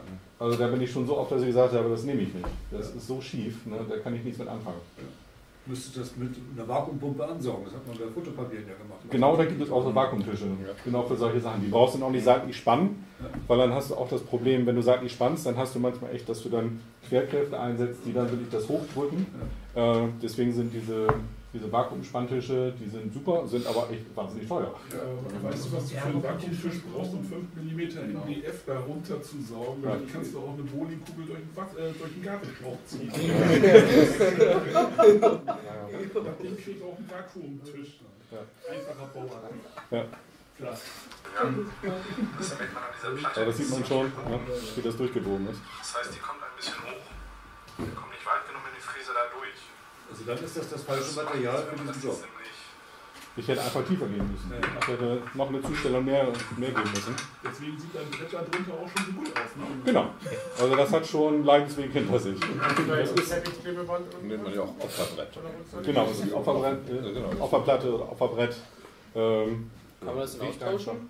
Das kannst du austauschen. Das ist ja, also die untere Platte, die da ist, die ist halt äh, ja, die Unterlage von der Maschine. Und dann halt dieses zweite Brett, was da halt drauf ist, wo auch das Alu draufgeschraubt wird und sowas, das wird einfach ausgetauscht. Sonst bricht es einfach zusammen. Ja, ja. Wie macht Aber man das denn dann beim Vakuumspanntisch? Da kann man ja nicht so einfach reinfräsen, oder? Stimmt. Genau, das wird dann sehr schnell sehr teuer. genau. Äh, da musst du sehr genau arbeiten und du musst dann noch was unterfüttern. Du legst dann meinetwegen, wenn du was ich, einen Zentimeter Platte drauf hast, dann legst du dann mal was ich, 5 mm wie ein MDF nochmal drunter. Ähm, musst aber auch da dann zwischendurch das noch gelocht haben, dass dann halt auch das Ah, Oberteil gehalten wird. Genau, aber genau das Problem hast du dann, dass du dann nicht, nicht exakt, äh, wenn nur das Material aufliegen würde, das nicht ausgeschnitten bekommst, ohne irgendwie in die, in die Absaugung reinzukommen. Genau. Den gleichen Fall ist es ja auch bei äh, Magnetspannplatten, um Werkzeugstellen Okay. und sowas zu halten. Du weißt gar nicht, wie die arbeiten. Die haben Magnet, Elektromagneten drunter, Okay. okay. das Ding drauf und der magnetisiert den Stahl nachher sogar noch wieder. Okay. Bei den Vakuumfischen hast du auch noch ein weiteres Problem. Du musst halt die Punkte, wo du halt reinfräst, auch noch abkleben. Also die Löcher, das sind ja Ja. also Ja. Löcher, im Prinzip wie das Lochplatte da, die musst du halt abkleben, weil sobald du halt dann drüber fräst und dann Luft durchkommt, dann geht ja halt sozusagen die Zugwirkung Mhm. verloren. Dann spätestens beim dritten, vierten Loch, dann zieht er halt so viel Nebenluft. Äh, äh, Ja, aber dass da muss man manchmal so eine Opferblech hinlegen. Also wenn die bei uns in der Firma Lochbleche schneiden müssen mit der Plasmaanlage, ich meine, der Plasmastrahl wird dann nur gehalten durch Plus- und Minuspol, sprich ich habe ja einen Stromkreis. Und wenn wir Lochbleche schneiden, wird der ja immer abreißen, der, der, das äh, Lichtkegel. Und dann legen wir entweder unten drunter oder oben drüber so ein Millimeterblech und dann schneiden wir halt eben ein normales Blech, dann 5er Lochblech plus 1 Millimeter, damit er oben im Leben bleibt. So, mein Vater in der Tischerei, der hat so eine große CNC und ähm, da musst du, entweder passt du auf, wenn du ein großes Stück hast, dass du die Sauger, du positionierst die Sauger und passt auf, dass du da nicht reinfließt, also das ähm, sagt dir die Software auch vorher. Was man aber auch machen kann, ist, wenn du äh, jetzt nicht so dicke Stücke hast, nicht so starke, dann legst du einfach die Opferplatte legst, und die, die du ähm, fräsen willst, legst du übereinander und dadurch, dass der Sauger so stark ist, saugt er die obere auch noch mit an. Das ist auch ganz nett. Ja, das müssen wir kurz zu Ende machen.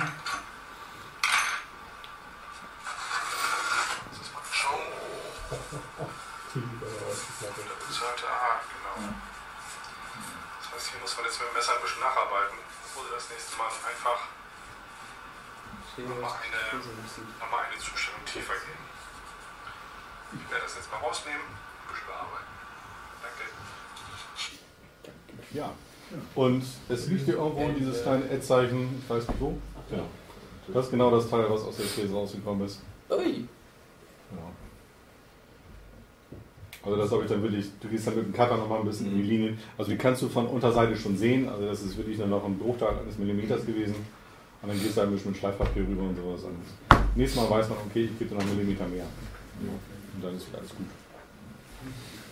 Okay. Ähm, als nächstes würde ich gleich einmal wirklich mit SketchUp ein kleines Teil äh, kreieren, bearbeiten und auf den Lasergravierer geben. Ich würde vorher vorschlagen, dass wir mal so eine 10 Minuten, Viertelstunde Raucherpause machen. Was haltet ihr davon?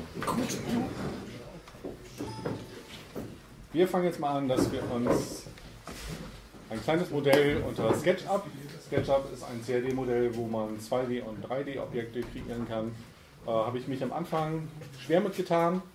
Ähm, mittlerweile macht es echt total Spaß, damit umzugehen. Das ist echt irgendwie, wenn man erstmal so eine Initialzündung hatte, dann, dann weiß man auch, was man damit irgendwie machen kann und wie man es machen kann.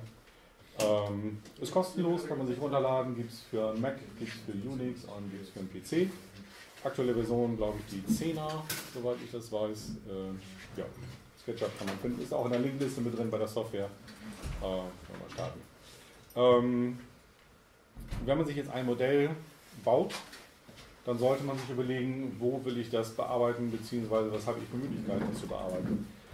Bei meinem Lasergravierer weiß ich, ich habe nur eine maximale Bearbeitungsfläche von, ich glaube, 10 x 10 cm ungefähr.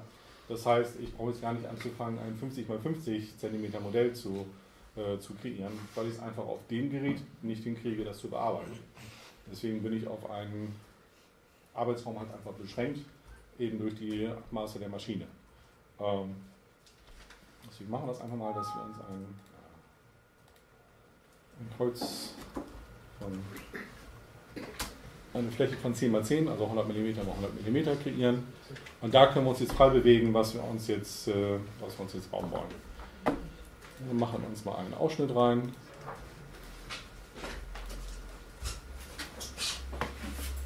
Wir machen uns ein Loch rein.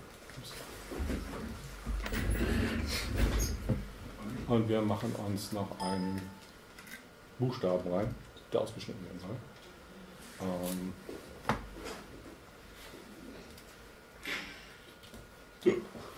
okay. Wunderschön. Geringfügig Chris hast du.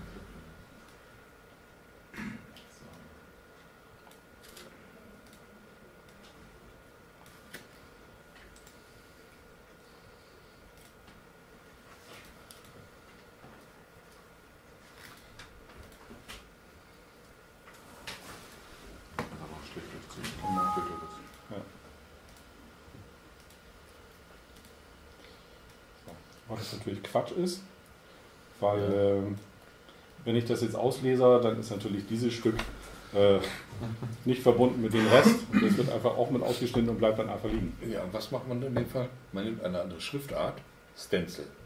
Nimmt Zum die Beispiel. Schriftart Stencil, die ist dafür vorgesehen, dass immer noch so kleine Ecken stehen bleiben. Dann schaue ich doch mal, ob sie installiert ist. Das ist ein cooler Typ. Ist sie standardmäßig mit drin? Eigentlich schon, ich. Da war die Nee, war die nicht. Da muss man sie, die gibt es auch kostenlos. Ja, also da gibt es ganz viele von diesen Schriften, genau. Das ist nämlich das Problem, was Klaus anspricht und so weiter, dass du, wenn du geschlossen, also geschlossene Flächen hast, die nicht durch einen umlaufenden, äh, durch eine umlaufende, umlaufende Fläche angebunden sind, dann hat man einfach das Problem, dass das irgendwie in der Ecke liegt und nicht gehalten wird. Ähm, das Problem hat man zum Beispiel auch, wenn man Folien äh, machen lässt. Wenn man dann zum Folienbeschrifter geht und da welche Buchstaben oder Zeichen irgendwie äh, ausgeschnitten werden, dann würde man das, wenn man halt die, die Folie abziehen würde, würden da Stege drin sind. Dafür gibt es sogenannte Transferfolien, die man nochmal drüber klebt. Und dann zieht man nämlich diese Transferfolie mit dieser Folie, die ausgeschnitten ist, zusammen ab, klebt das auf das Objekt drauf. Und dann zieht man nämlich die Transferfolie ab und pult dann noch ein bisschen die, äh, die ausgeschnittenen Sachen damit raus. Klappt relativ gut. Okay, aber das Also war's diese auch Schriftarten, schon. die dann diese Brücken haben, die sehen immer so Ja. nach dem US-Militär Ja, aus. So genau. Army-Schriftarten. Ist auch Holz- Holzkisten und sowas, die sind ja immer so beschriftet. Weil die nämlich ne? genau dasselbe Problem haben und dafür ist die erfunden worden. Genau. Okay, das ist jetzt ein Modell, was wir uns erstellt haben. Das könnten wir jetzt auch, also das ist jetzt ein 2D-Modell, das könnten wir uns jetzt auch ausdrucken, indem wir das einfach Was sind denn das immer für. Fehlermeldungen? Wie bitte? Was sind das immer für Fehlermeldungen? Ja, das ist irgendwie, weil ich äh, den der Firewall eingetragen hat, dass er nicht nach Hause telefonieren darf. Und deswegen fragt er immer, ich will nach Hause telefonieren, aber du lässt mich nicht. Na, das ist ein Das war ursprünglich ein Google-Produkt. Genau. Vorsichtig. Ja, genau. Na? Ja, Ähm, ausgegliedert. Ja, also man könnte prinzipiell, von denen ausgegliedert. Ja, irgendwie sowas. man könnte prinzipiell dieses Modell jetzt so- sowohl ausdrucken, das könnten wir jetzt, das machen wir einfach mal, also dass wir uns das Modell erstellen. Ähm, Es gibt nämlich sogenannte Export-Plugins. Es hat Google von Haus aus nicht die Funktion, dass es 3D-Formate exportiert, sondern nur 2D-Formate bzw. Bildformate. Ähm, da gibt es aber im Netz gibt es ganz viele kostenlose Plugins, die man sich irgendwie ganz einfach installiert. In den neuen Versionen kann man einfach irgendwie installiere Plugin, da gibt es dann irgendwie eine Möglichkeit bei den Optionen In der alten Version, da muss man einfach diese Plugin-Datei, die man sich runterlädt, in ein bestimmtes Library-Verzeichnis an das SketchUp irgendwie legen. Dann startet man es einmal neu und dann wird es automatisch eingelesen. Also ist beides, ist auch mal gut beschrieben. Ja. Ähm, es gibt die Möglichkeit, in SketchUp in DAE zu exportieren und das in Cura zu importieren direkt, ohne STL. Ah. Und das ist viel schicker und viel schöner. Und wenn man es in Cura nämlich als STL-Datei auch speichert, was Cura ja von Haus aus kann, dann sieht das besser aus als mit dem Plugin für SketchUp. Dann machen wir das einfach mal. Ja. Sagst du einfach speichern unter oder was? Dann kannst du da DAE wählen oder was? Weil die exportieren oder speichern unter. Nee, Entschuldigung, da musst du exportieren ins DAE. 3D-Modell, genau. Da genau, Colada-Datei.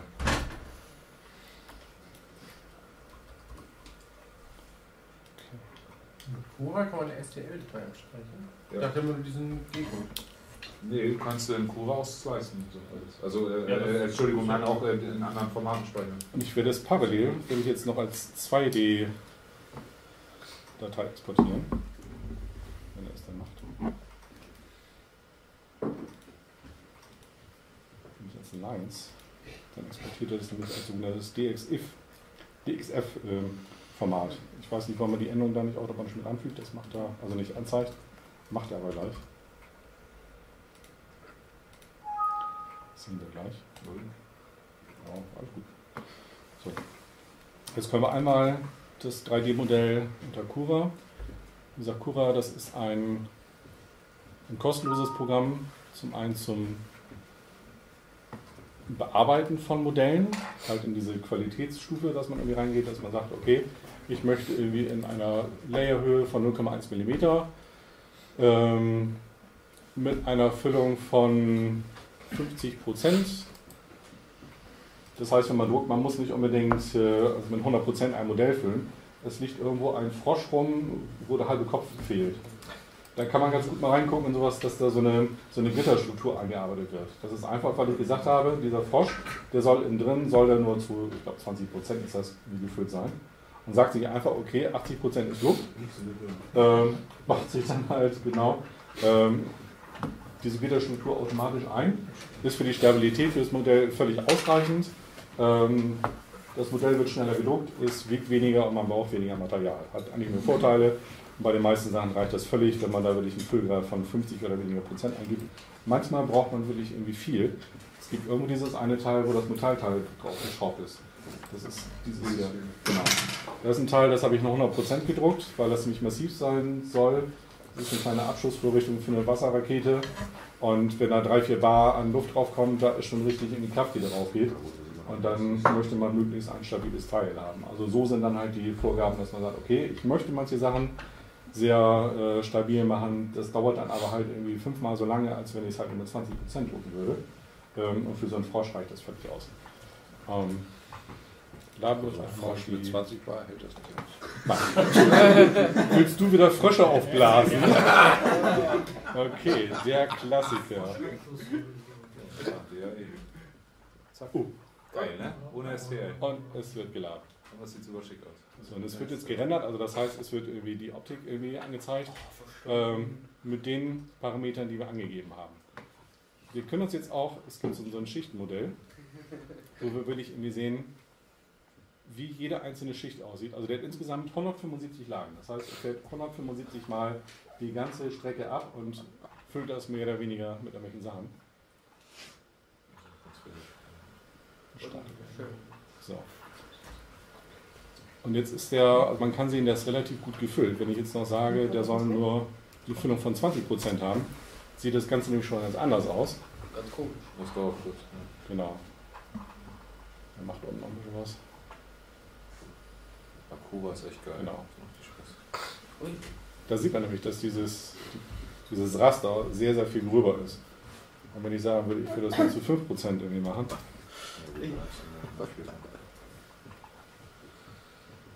Dazu zwei Stunden. Und bei 5% kriegst du ja vielleicht schon Probleme mit, mit dem Deckel. Ne? Genau. Also mit 5% habe ich noch keine Sachen gedruckt, weil es einfach die Gefahr läuft, dass die, die Außenwandung und sowas, das einfach nicht stabil ist. Ähm, das merkt man Kannst aber, die wenn man... Wandstärke kannst du einstellen. Genau. Aber trotzdem, also auch... Äh, Der Deckel. Ja, der Deckel, der. Ja, genau. Das merkt man, wenn man wirklich mal so ein Modell druckt und sowas. Man hat ja irgendwie, man muss sich ganz schnell davon entfernen, dass man sagt, ich habe jetzt einen 3D-Drucker und kann sofort ein Modell drucken. Ähm, es dauert relativ lange, bis man ein Modell so rauskommt, wie man es auch haben möchte. Also es kommt immer gleich sofort was raus, aber nicht das, was man haben möchte.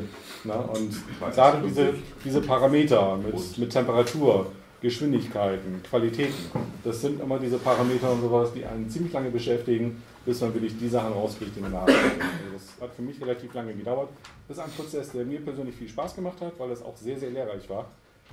Muss einfach jeder auch mal mit durch. Also nicht verzagen, wenn es am Anfang nicht klappt. Es wird. Glaubt daran. Genau. Hier kann man, wie gesagt, hier Print Speed und äh, Drucktemperatur. Diese Temperatur ist immer bezogen auf die Druckdüse. Das heißt, der Kunststoff, den man zuführt, PLA, ABS oder Nylon oder wie auch immer, haben vom Hersteller haben die dann immer so grobe Vorgaben, mit welchen Temperaturen die geschmolzen werden oder beziehungsweise gedruckt werden. Da sollte man sich auch dran halten, aber auch da gibt es Spielraum, ähm, den man nutzen kann. Dann gibt es auch noch eine Betttemperatur, die man irgendwo eingeben kann. Ich möchte etwas. Gerade nicht. Ähm, Du hast kein Heizbett, deswegen kannst du Genau, deswegen kommt es. Ähm, Heizbetten hat man bei 3D-Druckern als unterste Lage, also praktisch als Druckbett, wo das, das Kunststoff drauf als, als erste Lage draufgelegt wird. Ähm, das kann man so machen wie ich, der einfach nur eine Glasplatte hat, die mit einer speziellen Klebefolie belegt ist und man druckt mit PLA einfach drauf. Bei mir funktioniert es. Wenn ich zum Beispiel ABS nehmen würde, würde es auf jeden Fall schon mal gar nicht funktionieren, weil es gibt einen sogenannten Warping-Effekt. Ähm, hat man schon mal gesehen bei irgendwelchen Modellen, steht leider so nicht mit. Warping ähm, sieht man sofort, wenn man Modelle hat, wo die Ecken nach oben gewölbt sind. Man hat nämlich das Problem, wenn man halt schichtweise druckt. Man hat immer von Schicht zu Schicht unterschiedliche Temperaturen. Und unterschiedliche Temperaturen erzeugen immer mechanische Spannung im Material. So, und ähm, es ist die unterste Schicht, die, die ist kalt und die Schichten oben drüber, die sind warm und der Kunststoff erkaltet halt unterschiedlich schnell und dadurch gibt es halt diese, diese Spannung, die, die entsteht. Das kann man irgendwie ganz erheblich reduzieren, indem man ein beheiztes Druckbett hat, indem man nämlich die unterste Schicht immer warm hält. Das heißt, die Ecken, die bleiben immer relativ elastisch auf dem, auf dem Boden und erst wenn alles gedruckt wird, oder alles gedruckt wurde, erst dann wird das Heizbett abgeschaltet und dann zieht sich das relativ gleichmäßig zusammen und löst sich dann auch mehr oder weniger gut unten wieder vom Druckbett. Ähm, braucht man nicht bei allen Kunststoffen, wie gesagt bei PLA, das kann man relativ einfach drucken. Ich brauche es nicht. Ich habe überhaupt auch bei einer, äh, bei der neuen Maschine, die ich gerade baue, ist kein Heizbett äh, vorgesehen. Ich habe alle Teile, die ich hier gedruckt habe, ohne Heizbett. Es gibt keine Warping-Effekte. Ähm, und ist alles gut. Ja, aber das ist jetzt alles PLA, oder?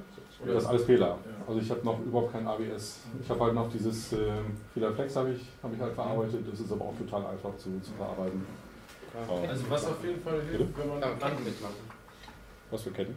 Ja, wenn man Dual Extruder hat, dass man dann ähm, Gummi nimmt, aber mit AB, äh, PLA oder ABS Stiften und dann wird das zu so einer Kette, die dann auch fest ist. Try. Probier's. Wenn du einen Dual-Extruder-Drucker zur Verfügung hast, bin ich gerne mal auf das Experiment gespannt und auf das Ergebnis. Mach es, also ist, ja. ja. Wer weiß, vielleicht haben wir sowas ja irgendwann mal. Schauen wir mal. Also was dieses Warping auch sehr stark verwendet, ist halt ein Rand, wenn du einen Rand Ja, mitdruckst. genau. ne? Es gibt hier Tools, in denen man hier nämlich ein sogenanntes Brim und Raft äh, einstellen kann. Ähm, Brim ist wirklich, dass er sich ein paar Linien aus einem zudruckt. Bedeutet einfach, dass, äh, dass eine Schicht lang hier meinetwegen 20 Linien umzugedruckt werden, die auch mit dem Hauptmodell miteinander verbunden sind. Und es ist einfach eine erhöhte ähm, Adhäsionskraft, ähm, also eine höhere Auflagefläche und sowas, die irgendwie am, am, am Boden klebt. Da ist die Wahrscheinlichkeit relativ gering, dass sich dann die Ecke hochbiegen. Bei mir Irgendwann ist das auch Problem, da dass Schluss. sich das Tape abgelöst hat. Ah, okay. Das backte halt so gut am Tape, Ja. ne? Okay. Es gab Ja, auch ja. dann hat sich einfach das Tape abgelöst. Okay. Bei sagen wir mal, Wegstücken der Größe. Ja. Also auch da, das ist also wirklich eine Kunst und eine Wissenschaft für sich. Also es gibt gerade zum Thema Druckbett mit Temperaturen, Materialien. Es gibt Klebefolien, es gibt so, so ein Blue Tape, es gibt Haarspray. Kapton Tape, Glasplatte mit, äh, mit Haarspray, mit Brettklebestift. Holzleim, Brettklebestift. Also man versucht einfach, dass man halt die, die untere äh, Kunststoffschicht, dass man die möglichst lange, möglichst äh, flächig unten auf der, auf der Platte aufliegen lässt. Aber auch so in der Form, dass man das auch wieder gelöst bekommt. Es gibt manche Dinge, das ist dann so bombenfest, dass es einfach nicht irgendwie gewaltlos runterkriegst. Das ist der neueste Trend für die äh, Beds unten äh, sind iPad-Displays. Also das Glas da oben drauf, kriegst du einzeln das Gorilla-Glas. Okay. Da pappt ja nichts dran, aber es ist arschglatt, sodass es am Anfang vernünftig war. Soll besser als Captain Tag sein. Mir, Display.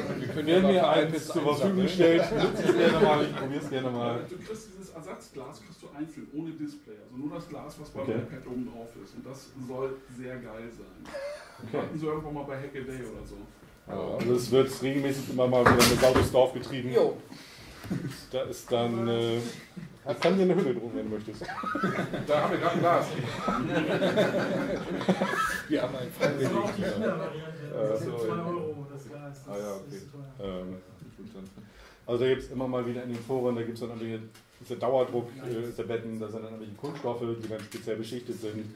Ich habe schon meine Versuche gemacht mit Epoxyplatten, ähm, mit Holz, mit Glas, mit verschiedenen Folien. Also man macht da auch äh, in dem Bereich macht man seine Experimente. Ähm, ich habe jetzt meinen Workflow gefunden. Ich hatte gesagt, so eine Spezialfolie auf einer Glasplatte. Das klappt sehr gut bei mir. Ähm, ja, muss jeder mal durch.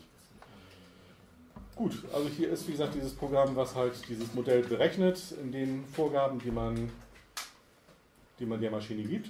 Und es gibt von hier aus gibt es dann die Möglichkeit, dass ich es drucke. Das ist genau, wenn jetzt ein Drucker angeschlossen ist. Diese Software, die ist speziell mal von der Firma, die auch den sogenannten Ultimaker produziert hat. Das ist eine holländische Firma oder eine niederländische Firma, ähm, die halt ein quasi Standardgerät entwickelt hat in den letzten drei, vier Jahren, was immer so mit unter den Referenzgeräten ähm, gewertet wird. Das heißt, man muss sich immer irgendwie dem, dem Ultimaker und dem Makerbot stellen, weil das nämlich die beiden Platzhirsche sind im äh, Konsumerbereich, wo man sich halt anzumessen hat. Und das ist halt diese Standardsoftware, die mit ausgeliefert wird. Das kann die aber auch jeder runterladen und selber benutzen und halt irgendwie auch an seine Maschine, wenn es eine spezielle Firmware gibt, die halt auch diese Sachen verarbeitet. Da könnte ich jetzt auch meinen Drucker mit äh, halt anschließen und, und Cora ist eigentlich fast kompatibel zu allen Firmwares. Ja. Ich habe da auch schon mitgearbeitet. Du bist aber Maschine halt eben die Maschine da. Genau, Ja. genau. Ich muss dann noch meine, Druckgröße, meine Bettgröße müsste ich irgendwie eingeben und so. Genau. Und ähm, also jetzt könnte ich jetzt entweder, dass ich es äh, hier direkt auf die Maschine gebe oder ich sage, ich speichere mir den sogenannten G-Code, Demo, speichere mir das. So, und den gucken wir uns jetzt nämlich mal an. Also der würde jetzt mit der Maschine, ich schicke das hin und der fängt an zu drucken, schichtweise, bis er dann irgendwie, ah ja, der sagt zwischendurch auch, er braucht für dieses Modell 2 Stunden 11 Minuten, er braucht 3,55 Meter äh, an, an äh, äh, Filament. Filament, an Material, das sind insgesamt 28 Gramm und das weiß ich nicht. Ähm, diese Werte sind. Stimmt. Ja. Diese Werte sind erstaunlich genau. Also ich habe das wirklich mal ähm, sowohl von der Zeit als auch mal wirklich äh, Sachen nachgewogen. Das kommt echt gut hin. Man muss dann halt wirklich hier zusehen, dass man auch die richtigen Parameter für Düsengröße und es gibt hier Flow, dass man irgendwie auch nochmal so ein, ja, wird zu weit führen. Aber es gibt Parameter, die man halt relativ genau eintragen muss, um dann wirklich irgendwie eine relativ genaue Berechnung zu haben. Dann kann man wirklich sagen, okay, ich habe jetzt irgendwie acht Stunden brauche ich dafür, ich bin irgendwie in acht Stunden muss ich zur Arbeit, eine halbe Stunde vorher ist das fertig, ich kann auskühlen und ich kann es dann vorne rausnehmen. Das hat mich insgesamt 80 Cent gekostet und ich muss mir in 26 Tagen eine neue Spule kaufen. Läuft. Ich habe mit der Zeitberechnung schlechte Erfahrungen gemacht. Also hier mit unserem Gerät. Das kann sein. Ich habe die Erfahrung, dass er mindestens so zwei Drittel länger braucht als der Anzeige. Zwei Drittel? Ja. Fast, teilweise fast doppelt so lange. Okay. Das ist aber echt ungewöhnlich. Der falsche Terminstecken. Nicht. So, jetzt haben wir alles natürlich Demo genannt. Welches ist jetzt? Ja, du hast eine 2D-Datei und eine G-Code-Datei. Ich habe drei. Ich habe eine. Die unterste. Die unterste ist ist- Ah, die unterste ist. Genau. Diese Datei, das ist eine sogenannte G-Code-Datei fängt an, bei den nicht ausgeklammerten Feldern wirklich diese Befehle abzuarbeiten. Der hat einen, einen Header, also ein, ein, eine Kopfzeile, wo halt irgendwie zum Teil Maschinendaten eingetragen sind und, und Beschleunigungsdaten und so Krams. und fängt an, ab hier praktisch irgendwie Zeile für Zeile seine Sachen abzuarbeiten. Der fängt an mit dem Befehl M107, was immer das bedeutet. Das ist, glaube ich, Lüfter 1. Ja. Ganz Ähm, Ganz oben steht im 107 schon mal Star with the fan off. Okay, Ach, stimmt. Und man schaltet ja ihn ein, das stimmt. Der hat die erste Linie und sowas, die macht er ohne Lüfter und danach schaltet er ihn dazu. Genau. Dann sagt er mit einer bestimmten Beschleunigung, fährt er den Punkt x90 an und y89 und z-Achse auf 030. Und macht das dann in einer Tour so weiter. Das heißt also jeden Eckpunkt und gerade wenn man, wenn man Kreise fährt und sowas, das sind also eine unendlich große Zahl an äh, Zeilen, die er abarbeitet, weil ein Kreis besteht nicht irgendwie äh, ähm, aus einer, ja, Aus aus einer Funktion, sondern wirklich, der hat irgendwie, das wird unterteilt in kleinen äh, Punkten im Raum und je nach Qualität, wie man es eingestellt hat und sowas, hat er also ganz viele kleine Punkte, die auf der Linie eines Kreises liegen und fährt die dann ab.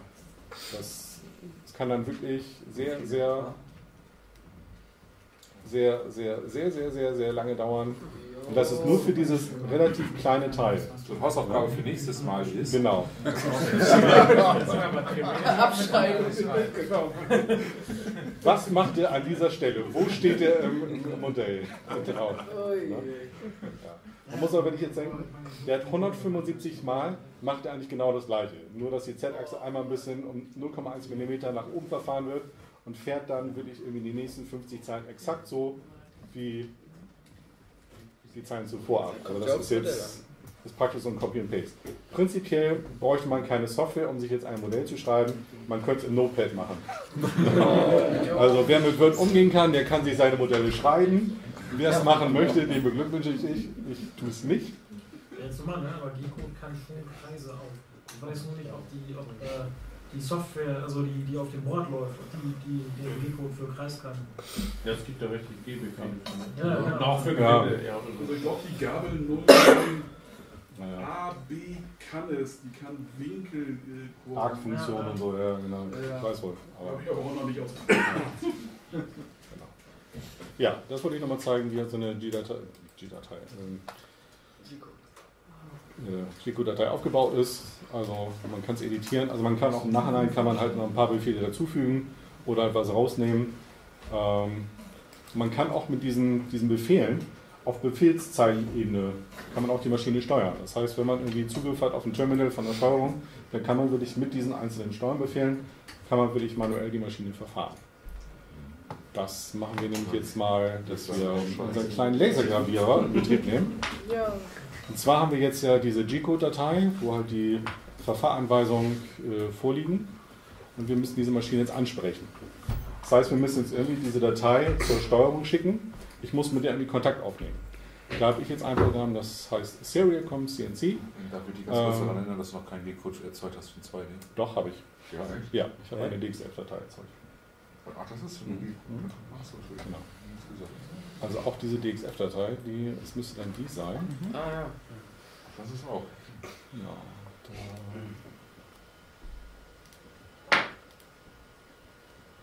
Ja.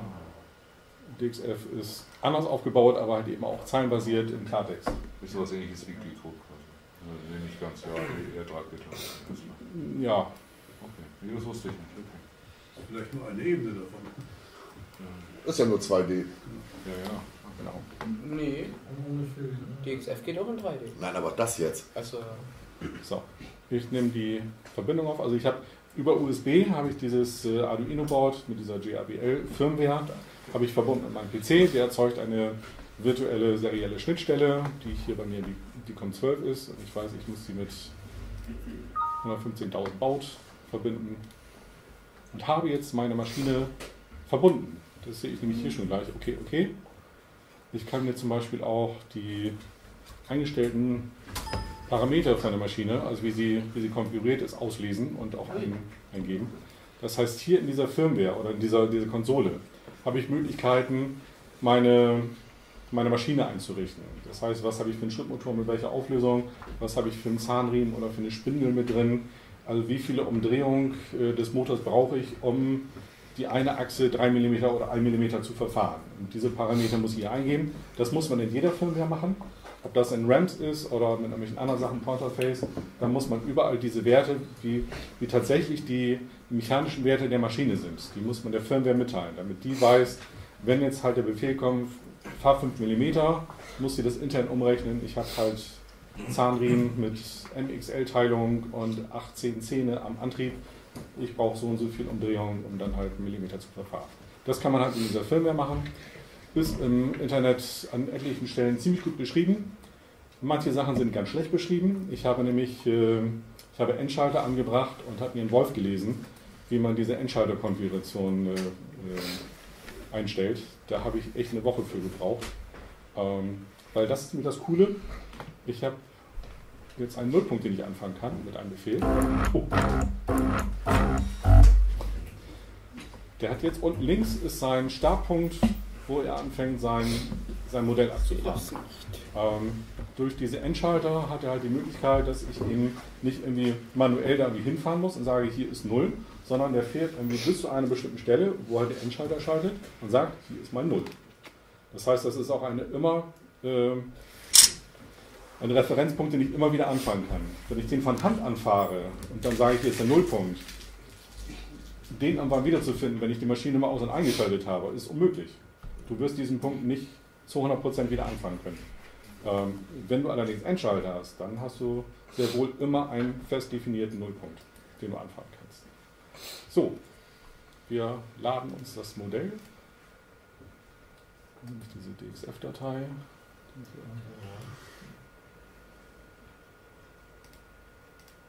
Da war in der Mitte. Ah, die war das. Das war die 3D-Datei. Und das ist diese Datei, die hat nur DXF hinten nicht drangehängt. Also das ist, das ist eine sogenannte DXF-Datei. Die laden wir uns genau. Hier zeigt auch die Linien an, die er abarbeiten würde und gleich auch wird. Das ist doch noch kein G-Code. Ähm, das ist vollkommen korrekt, weil wir haben einen Schritt total übersprungen. Das ist. Ich wollte euch mal testen, ob ich hier. Das ist doch, was ich meinte. Genau. Genau. Was wir jetzt nämlich machen müssen, dass wir uns nämlich diesen erzeugten G-Code für die Maschine erstellen. Nämlich Geschwindigkeiten und sowas solche Sachen. Wir haben ja wirklich nur eine, eine Zeichnung, die irgendwie eine, ein, ein, ja, ein Modell abbildet. Wie ich das aber bearbeiten möchte, das habe ich ihm noch nicht mitgeteilt. Das mache ich in der sogenannten CAM-Verarbeitung. Computer Aided Manufacturing. Da sage ich nämlich, dass ich mir das Modell noch einmal lade. Nämlich dieses, ist so schön, dass ihr aufgepasst habt. Äh, Bitte mal nicht verallgemeinern, ich habe aufgepasst. Ja, ja. Wer war's? Er Ich habe aufgepasst, ob du aufpasst. Ja, genau, einmal Applaus, genau. Die Gegenkommt. Ja, da kommt was Großes zu. Ich glaube, man muss sich nochmal an GXF nennen. Ja. Ich will das sehen. Pingelig, ne? Ja. Zeitwindows-Programm. Ja, ja. Oh, jetzt ist genau. er- Ja, ist ein Windows-Programm. Er ist ein Zauberer. Bisschen her da nicht. Ja, hier. Die Tipps sind gut. Kein Flameboy. Optional. Nur sinnvoll, wenn du Drehzahl einstellen kannst. Ich kann den Laser jetzt. Ui. Das Das ist ja dem Ja. Das Das heißt, das Modell, was wir vorhin erstellt haben in SketchUp mit dem Nullpunkt hier unten links, ist auch jetzt unten links der, der Nullpunkt von der Maschine, äh, wird jetzt hier angezeigt. Was ziemlich cool ist, hier kann man nämlich jetzt nicht genau sehen, das ist nämlich ein, ein, ein Kreis, ähm, den haben wir sehr, sehr grob gezeichnet in SketchUp. Da kann man nämlich die Möglichkeit haben, dass man halt einen Kreis sehr fein macht oder halt relativ grob lässt. Wenn man den relativ grob lässt, das kann man zum Beispiel in diesem Teil relativ gut sehen, wenn das mal rumgehen lässt, da kann man nämlich genau sehen, das sind einfach nur ähm, gerade Linien, die mit einem Winkel miteinander verbunden sind und nicht wirklich ein durchgehender Radius, der äh, halt gefräst wird. Ähm, auch dieses werden wir gleich im Modell relativ gut sehen können, dass das eine relativ grobe äh, Verkreisung ist. ähm, genau. Bei schrägen oder geraden Flächen ist das kein Problem. Das kriegt ihr relativ gut hin, aber Kreise, das ist immer das Problem. Deswegen gibt es bei SketchUp gibt es die Möglichkeit, ähm, wenn man, wenn man Kreise zeichnet, dass ich dann nämlich sage, also standardmäßig sind 24 Seiten, also 24 äh, gerade Linien mit Radien bilden einen Kreis. Ich kann jetzt aber sagen, ich möchte irgendwie, also ich, einen Kreis haben, der aus 96 Teilen besteht. Das ist sehr viel feiner. Oh ja. Hat aber am Schluss, wenn der G-Code erzeugt wird, oder diese DXF-Datei, wesentlich mehr Zeilen, die er sich erzeugt. Jetzt muss man sagen, okay, muss ich oder will ich das wirklich genau haben? Ist, ich weiß gar nicht, ob es länger zur Bearbeitung dauert. Also diese Datei wird aber unnötig groß. Mir reicht das meistens mit 48 Seiten, ist immer mein Standard, wie ich es einstelle, und das reicht mir immer völlig aus. Sowohl für Drucken als auch Fräsen. Dann sieht man irgendwann kein, keine äh, Abstufung mehr. Kommt ja auch drauf an, wie groß der Radius ist. Genau, wenn du natürlich so ein riesen Ding hast, dann siehst du es wieder. Wenn du so ein kleines Ding hast mit 3 mm, dann, dann, dann reichen auch 24 Seiten. Klar, genau. Das Problem bei der Sache mit den Buchstaben wird aber sein, dass äh, der Buchstabe einfach nicht, äh, das ja ein Vektorformat genommen, irgendwie Schubladenfont oder genau. was ähnliches, Genau. dass der einfach nicht Ja. genauer definiert ist. Weil die nicht damit gerechnet haben, dass einer so ein So. Ähm, in dieser Software, das ist eine Kaufsoftware, die kostet ich glaube 35 Euro. Gekauft, ne? Ich habe sie mal für 25 gekauft. Ähm, ja, Schnäppchen gemacht. Ähm, da kann man jetzt wirklich seine Maschine so einrichten, wie man es haben möchte. Ich richte sowohl meine Fräse, also meine Fräsdateien mit dieser Software ein, als auch meine Dateien für einen Laser. Da kann man sich Werkzeuge anlesen, äh, anlegen, dass man sagt, okay, ich lege mir jetzt das Werkzeug Lasergravier ein, also diese Maschine ein. Ich habe einen Fokuspunkt von 0,1 mm. Z-Achsenparameter brauchen wir nicht, weil der hat keine Z-Achse. Ähm, soll mit einer Verfahrgeschwindigkeit die Sachen abfahren, jetzt von 800 mm eine Minute. Ich weiß aus Erfahrung, wenn ich einen Lasergravierer mit 800 mm verfahre, habe ich einen sehr feinen, aber nicht tiefen Schnitt. Wenn ich damit mit der Geschwindigkeit runtergehe, das ist nämlich meine Leistungsregelung. Ich habe nicht die Möglichkeit, dass ich den, Leister, äh, den, den, den Laser in der Leistung regle. Ich mache die, die, die Regelung des Schnittes mache ich einfach über die Verfahrgeschwindigkeit. Je länger der auf einen Punkt dreht, desto, desto, desto tiefer dreht er sich halt ins, ins, ins Modell rein. Es sind allerdings auch äh, unschönere Linien. Das ist dann auch so, muss man auch sagen, weil äh, das fängt an zu schmelzen und so und das sieht dann aber nicht schön aus. Aber machen wir jetzt einfach mal. Ähm, hier wieder die Z-Parameter brauchen wir nicht. Wenn wir eine Fräse haben, in der man die Drehzahl regeln kann, ähm, dann kann man auch hier einen Parameter angeben, dass ich sage, ich möchte irgendwie Kunststoff mit nur 3000 Umdrehungen am, an der Frässpindel irgendwie bearbeiten, im Gegensatz zu, zu Metall. Das möchte ich irgendwie mit einer hohen Fräsgeschwindigkeit. Haben wir hier auch nicht. Das war weg. So. Das heißt jetzt alles mit diesem Werkzeug, was ich jetzt bearbeite, wird jetzt bearbeitet. Ähm, ich habe jetzt einen, einen, an Zeichnung, die Umrisse habe ich mit diesem diesen Fräser, der irgendwie einen, einen Schnittpunkt hat von 0,1 mm, einmal abgefahren. Wenn ich jetzt einen Fräser nehmen würde, der irgendwie einen, genau, das sieht man schon, der irgendwie einen größeren Durchmesser hat, wie zum Beispiel den, den großen Fräser, der 6 mm Durchmesser hat, kann man auch Du hast nicht die Durchmesser. Du hast Das Durchmesser nicht Ah. Jetzt fängt er nämlich an, dass er seine Kontur ähm, so setzt, also dass er die, die, die Fräsbahn so setzt, dass der Mittelpunkt seines Fräsers immer der halbe Durchmesser von dem, ähm, von dem Fräser neben der Bahn fährt. Das heißt, er fährt nicht auf der Bahn, sondern der fährt immer versetzt daneben, damit er wirklich irgendwie dieses Modell ausschneidet und nicht irgendwie das Modell äh, verkleinern würde, indem man nämlich direkt auf der Linie äh, fahren würde. Wird jetzt sehr interessant, wenn ich jetzt mal einen Ausschnitt machen würde mit diesen 6 mm. Das passt jetzt gerade noch. Wenn wir zum Beispiel irgendwie das A ein bisschen kleiner gewählt hätten und ich habe jetzt wirklich, äh, der Fräserdurchmesser ist größer wie halt das äh, zu fräsende Teil, dann würde er einfach hoffnungslos die, die breiter machen. Das ist, ist, dann fährt das einfach ab. Ist beim Laser, wie gesagt, schön, man hat also wirklich eine ganz kleine Schnittfuge oder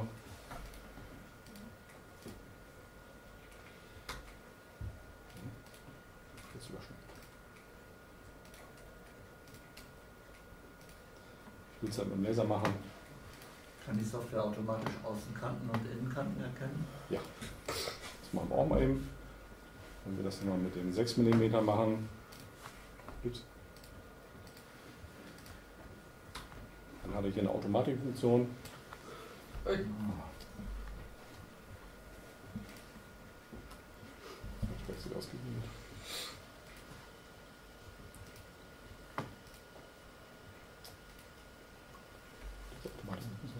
Ah. Kann man die Steuerung Z machen?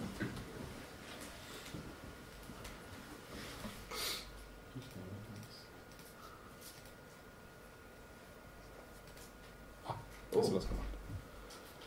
Also der sieht, ich muss ein Außenteil abfräsen, ich muss ein Innenteil abfräsen, hier auch noch ein Innenteil. Was er hier macht, das ist total Banane, was er macht. Also da soll er natürlich nicht fräsen. Ja, suboptimal. Ich meine, es ist auch nicht immer definiert klar. Ne? Also, du kannst ja auch Ja, das stimmt. Also, Kann man das stimmt. auch Genau. ändern, wenn man sagt, ich möchte jetzt bei dem A die Außenkante fräsen und nicht die Innenkante? Ja. Ja, gut, aber man sieht es ja in Vorschau. Na, so meinst du, ne? Ja, genau. genau. Also so würde ich mir jetzt den Buchstaben A ausfräsen. Genau. Und man sieht auch, man hat eben dadurch, dass du einen bestimmten Radius und Fräse hast, du kommst nicht in die Ecken rein. Ähm, Das ist immer das Problem, wenn du, ähm, wenn du Innenecken hast, wie hier zum Beispiel. Ähm, Und du möchtest zum Beispiel irgendwie einen, einen, einen rechteckigen Ausschnitt irgendwie haben und du möchtest da was reinstecken.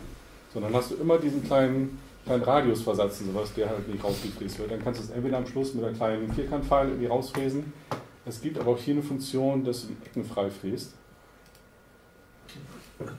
Indem man nämlich hier kurz reingeht, dann Ausschnitt macht, exakt bis hierhin. Sieht nicht schön aus, ist aber der Funktion geschuldet. Dass man wirklich sagt, okay, ich kann jetzt was reinstecken, obwohl du jetzt hier, wenn du drauf guckst, sieht einfach blöde aus. Aber wenn es halt nur ein Funktionsmodell ist, ist das auch egal. Und hier sind auch die Funktionen wieder, was du vorhin gesagt hast. Dass du nämlich sagen kannst, äh, ich möchte das ausfräsen und möchte eine sogenannte Anbindung haben.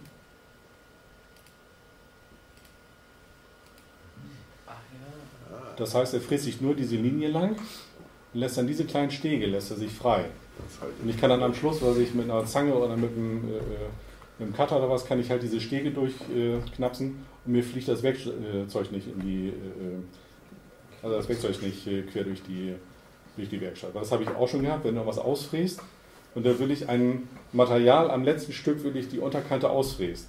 Dann schwubbelt das irgendwie, während noch der Fräser noch am, am, am Drehen ist, liegt es halt irgendwie ähm, immer noch auf dem Bett.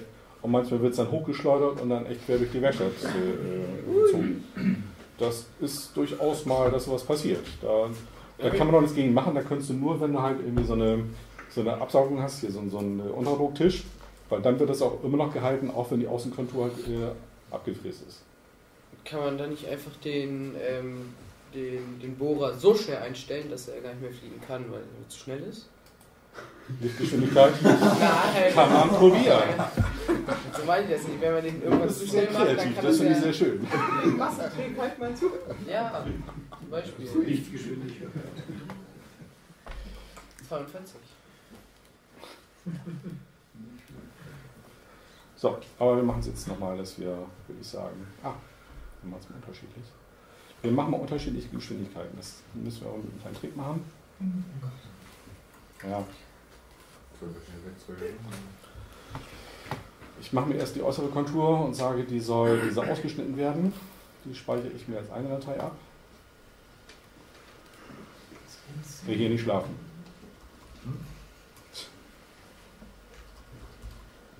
Tausendkante. Aber kannst du nicht einfach mit zwei verschiedenen Werkzeugen entsprechend? Ja, der wartet auf den Werkzeugwechsel und da weiß ich nicht. Ah, okay. Du musst noch einen Taster anbauen, wechseln, wechseln. Wechseln, wechseln. Das klingelt. Dong. Und wir haben jetzt eine zweite Datei, wo ich einfach das Werkzeug schneller verfahren lasse, mache damit die Innenteile. Jetzt bist du so lange ist Ja, genau 50 ist Oh, aber da soll ich 500 machen. Ist so gut, dass ihr aufpasst. Ja, dafür sind wir doch da. Das ist ja auch kein Alarmwerk hier, das ist ja.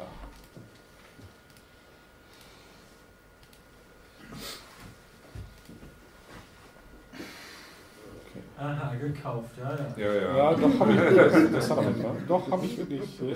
Hey. Dezentralisiert auf jeden Fall. Jetzt. 25 Euro haben nicht dafür gereicht, die Meldung wegzunehmen. Das ist noch eine Light-Version. Das steht irgendwo hier. Hast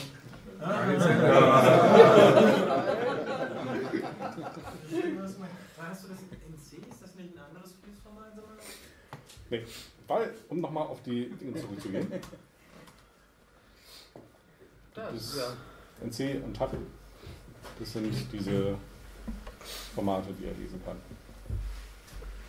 Also du kannst mit einer Fehlsteuerung kannst du NC-Files und TAP-Files einlesen. Also meinst du ja außer G-Code noch ein viel, noch viel älteres Format? HPGL. Genau, ja, das meine ich, ja, richtig. Oh, das ist schon so alt, das kenne ich nicht mehr. Das funktioniert noch immer bei jedem Plotter. Ja, das stimmt. So, wir haben uns jetzt zwei Dateien erzeugt, die wir jetzt einlesen und übertragen können zu der Maschine. Nämlich jetzt einmal sagen wir, dass wir nämlich erst das Innenteil verfahren und dann das Äußere aufschneiden. Ah, jetzt sieht es viel besser aus. Könnte man die jetzt eigentlich direkt hintereinander in eine Datei reinkopieren und dann meckert er dann um? Also prinzipiell geht das auch schon in dieser SLCAM-Software, in dieser CAM-Software, dass du die zwei Werkzeuge irgendwie einsetzt. Ähm, ich habe das auch schon mal probiert, aber irgendwie wartet der halt irgendwie auf den Werkzeugwechsel. Der sagt halt, spann jetzt irgendwie das nächste Werkzeug ein und dann musst du irgendwas machen und ich weiß nicht genau was. Deswegen mache ich mir mal diesen Trick, dass ich dann zwei Dateien mache, die ich halt irgendwie nach und nach abarbeite. Aber prinzipiell würde er genau das machen, dass er das alles in eine Datei reinschreibt, hintereinander. Genau. Und jetzt lassen wir es einfach mal abfahren. Ähm, der wird gleich leuchten. Ähm, ist jetzt nicht, dass euch die Augen jetzt rausgeschmolzen werden. Also das ist ein heller Punkt, aber das ist jetzt nicht, dass er euch jetzt irgendwie fokussiert trifft. Deswegen könnt ihr da relativ entspannt rumgehen. Wo wir gleich mal ein bisschen aufpassen müssen von der Geruchsentwicklung oder von der Staubentwicklung, weil oben ist nämlich ein Rauchmelder. äh, ich weiß nicht genau, ob der vielleicht auslöst. Also Wenn ich wir weiß letztens. Nee, ist guter Test. Delfinio, der hatte letztens in der Werkstatt gefräst und da ging der wirklich los. Und dann aber auch alle, bis nach drüben hin. Genau. Also aus der großen genommen werden, oder? Der blauen Laserdiode. Das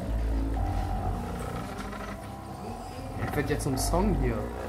Ja, es gibt wirklich tatsächlich Leute, die machen mit so einer Musik. Ne? Ja. Kannst du noch ein MIDI-Keyboard anschließen? Da könnte man auch bei Wetten das irgendwie äh, auftreten, dass man sagt, ich höre, was da gerade. Was da gerade Lasern hört. Du bist auf meine Monate jetzt zu spät. Hell. Nee, den sehe ich ja zum Glück nicht. Da musst du mal bei YouTube gucken, da gibt es tausend Leute, die mit so einer Musik Oder auch alte Diskettenlaufwerke. Ja, das habe ich gehört. Ja, das ist genau dasselbe Prinzip. Du kannst genau das ist genau dasselbe. Man sieht jetzt, dass er wirklich schnell fährt, auch mit einem relativ hellen Material. Also dieses Moosgummi ist. Naja, das das reflektiert zu stark. Ja. Schnell ich nicht. Also der Plotter ist schneller. Ich lade jetzt mal nochmal die andere Datei. Interessant. Aber das ist ja jetzt. Ist doch nicht eingeschnitten. Die ist jetzt nur graviert, ne? Das ist nur auf der Oberfläche eingebrannt, leicht. So angeleckt. Sieht aus, als das nass wäre.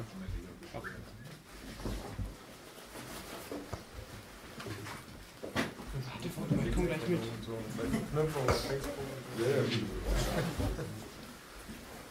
Die Nachwelt. Ich lade jetzt mal die Außenkante. Oh. Oh, das ist tief.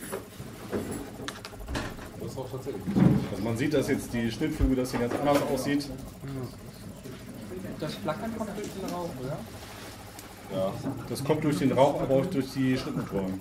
Also wirklich, weil der irgendwie so ein bisschen Puls. Der hat jetzt keine durchgehende Lauf, sondern immer so. Und das ist halt die Reflexion von uns, die das hat, dass es dann so am, am Pulsen aussieht. Also das Sieht- ist nicht der man sieht Laser, den der Qualm. Sondern die Reflexion, die du siehst.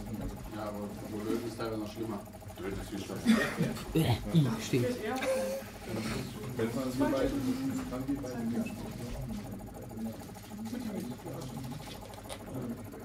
Könnte man damit auch was in der Handyhülle eingravieren? Irgendwas mit Sicherheit. Wie? Irgendwas mit Sicherheit, so aussieht, wie du es haben willst. Genau. Ja, stimmt, die muss ja fest sein. Hin. Er hat schon das Sicherheitsequipment mit. Das ist. Ich bin, wie gesagt, bei denen. Ich nicht das Handy rausnehmen vorher. Ich sich Ich habe mich da eingelesen, ich bin nicht so schwarz. Aber für, für Leder oder so sollte das noch rein, Also wenn du ein weißes Handy hast, geht das. Nein, nein, nicht mal graviert auch. Also wenn du jetzt eine Ledertasche hast oder so, dann gravieren oder so. Wie giftig ist das Material, wenn es hier auch verbrennt? Ja, natürlich ist es giftig. Also ohne giftig geht gar nicht. auch giftig? Also gesund ist es bestimmt nicht, aber. Kannst du mal probieren. Äh, Also ich glaube nicht, dass es lebensmittelrecht ist. Jetzt wird es einmal gleich sehr stark reflektieren, wenn es auf das Weiße kommt. Das ist natürlich jetzt falsch angespannt. Geht das Weiße nicht kaputt davon? Nee, gar nicht. Na, nachher kannst du deine, deine, deine Rohrtülle weglutschen. Ah. Was, was, was, Was ihr eben gehört habt, der ist schon auf mechanischen Anschlag gefahren. Das heißt, ich habe ihn doch ein bisschen zu weit oder zu groß gemacht, das Modell. Ich kann wahrscheinlich nur 98 mm in der. Also medizinischen Nadeln Siehst du? oder, oder halt so. Ähm, Also der ist eben in die Mechanik reingefahren, das heißt, er hat Schrittverluste gehabt auch. Das heißt, er wird jetzt kein maßhaltiges Teil mehr äh, bearbeiten können. Warum ist das da so braun, aber das Laser doch eigentlich gar nicht? Das sind von vorherigen äh, äh, Bearbeitungen sind das halt die Rauchgase, die entwickelt Ah, werden und die machen das halt so braun. Das ist genauso, dass ich hier der Teer Das Braune wurde durchgeschnitten. Tier hast du bedeuten? Damit fixiere ich manchmal die so. Sachen, wenn ich da was Ah. Der Motor läuft besser. Nee, nee. Trick 17. Geheimes Genau. Motortuning. Ja, ja. Man braucht nur noch einen Bruchteil des Benzines und sowas. ne? Ja, ja. Benzinfilter mit Ja. Magneten. Der Klassiker, ja, ja. Aber das ist nicht durchgeschnitten. Das ist nicht durchgeschnitten. Da war noch etwas zu schnell gewesen. Aber also, schnell versteht was Das anderes. sind 200 Milliwatt. Das ist die kleine Laserdiode. Wenn man das mit so 40 Watt Laser macht, der macht zack, zack, zack und dann ist das ausgeschnitten. Wie so ein Phaser- Phaserlaser, die macht, der macht ja nicht so, sondern der geht einfach die ganze Zeit so. So einen Modus kann man auch einstellen. Also du kannst so. so. Grafiken kannst du einstellen und äh, der macht dann so, so, ein, also eine Halbtongrafik raus, dass er halt irgendwie immer, immer kleine Punkte setzt. Ja, so Je nachdem, wie dicht die aneinander stehen, hast du dann Grautöne oder, oder ja.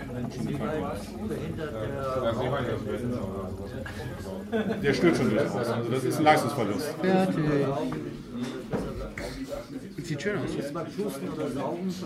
Du hast ähm, bei den professionellen äh, Lasergeräten hast du an der, an der Düse vorne hast du einen kleinen Anschluss. Der zum einen, dass du den Rauch wegbläst, zum anderen hat er auch noch äh, gibt ja schon rein oder sowas, da kannst du das die Funktion, dass die Verbrennung optimiert wird. Also es wird ja wirklich Material verbrannt und das, dadurch, dass der Sauerstoff zugeführt wird, ist die Verbrennung optimiert. Wenn du das jetzt mal rausnimmst, also durch ist er nicht, ne? Wenn ich jetzt dunkles Moosgummi gehabt hätte, wäre, glaube ich, bei der Geschwindigkeit hätte er schon durchge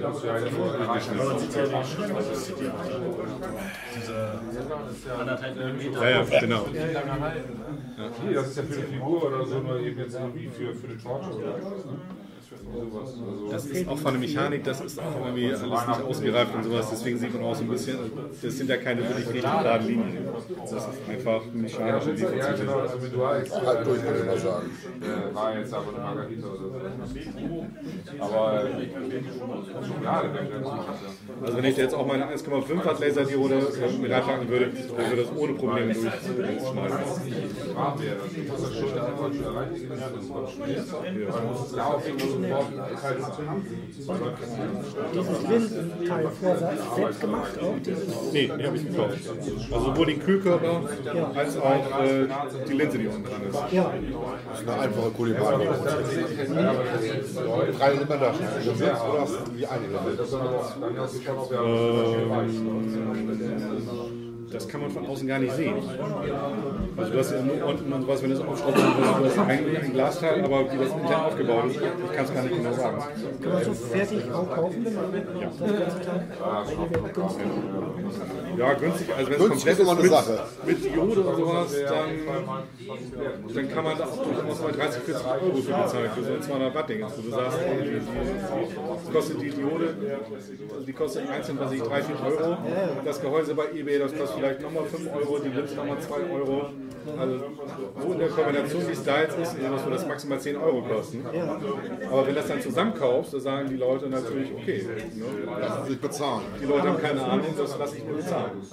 Aber es ist nett, dieses kleine Teil auch mal so mitnehmen. So. Genau, das ist immer ein schönes Demo und sowas, da kann nicht viel passieren.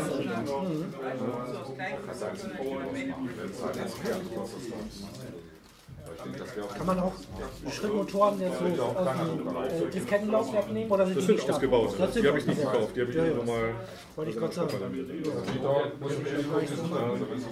Wie Nochmal einmal kurz, einmal kurz zum Schluss. Wir sind nämlich fast am Ende. Ähm, endlich, ne? Nein, echt? Ähm, ich habe einmal noch mal kurz eine Übersicht von Materialien, die man bearbeiten kann, sowohl Fräsen, Drehen als auch Drucken. Ähm, da kann man mal ein bisschen raufgucken, was man irgendwie sich mal zulegen kann. Und als letztes habe ich nochmal eine, ja, eine Liste von Anbietern, wo man Sachen kaufen kann, sowohl Bauteile als auch Material, als auch Software ähm, und nochmal G-Code-Befehlsübersicht, wo man nochmal gucken kann und sowas, wie ist das alles aufgebaut. Äh, Firmware für ein Arduino Uno, also für so ein RAM-Sport oder halt für so ein GABL. Ähm, kann man da alles mal nachlesen. Ich werde diese Datei werde ich mit in das äh, auf die Homepage setzen. Ich weiß noch nicht genau wo, aber ich werde die auf jeden Fall zur Verfügung stellen, dass ihr da mal irgendwie das runterladen könnt. Du kannst du das denn vor den Artikel mit äh, editieren und Links? Ja, das kann ich natürlich machen. Ich weiß nicht, Ach so, wie ja. schnell der im Nachhinein wieder zufällig ist, der Artikel. Ja. Ihr werdet auf jeden Fall irgendwie, oder Mailingliste oder irgendwie, noch machen. Ja, aber ich meine, also Und dann danke ich euch, dass ihr da gewesen seid. Juhu. Ja, super, Dankeschön.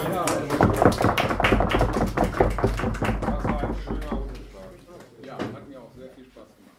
Das ist doch fast so voll.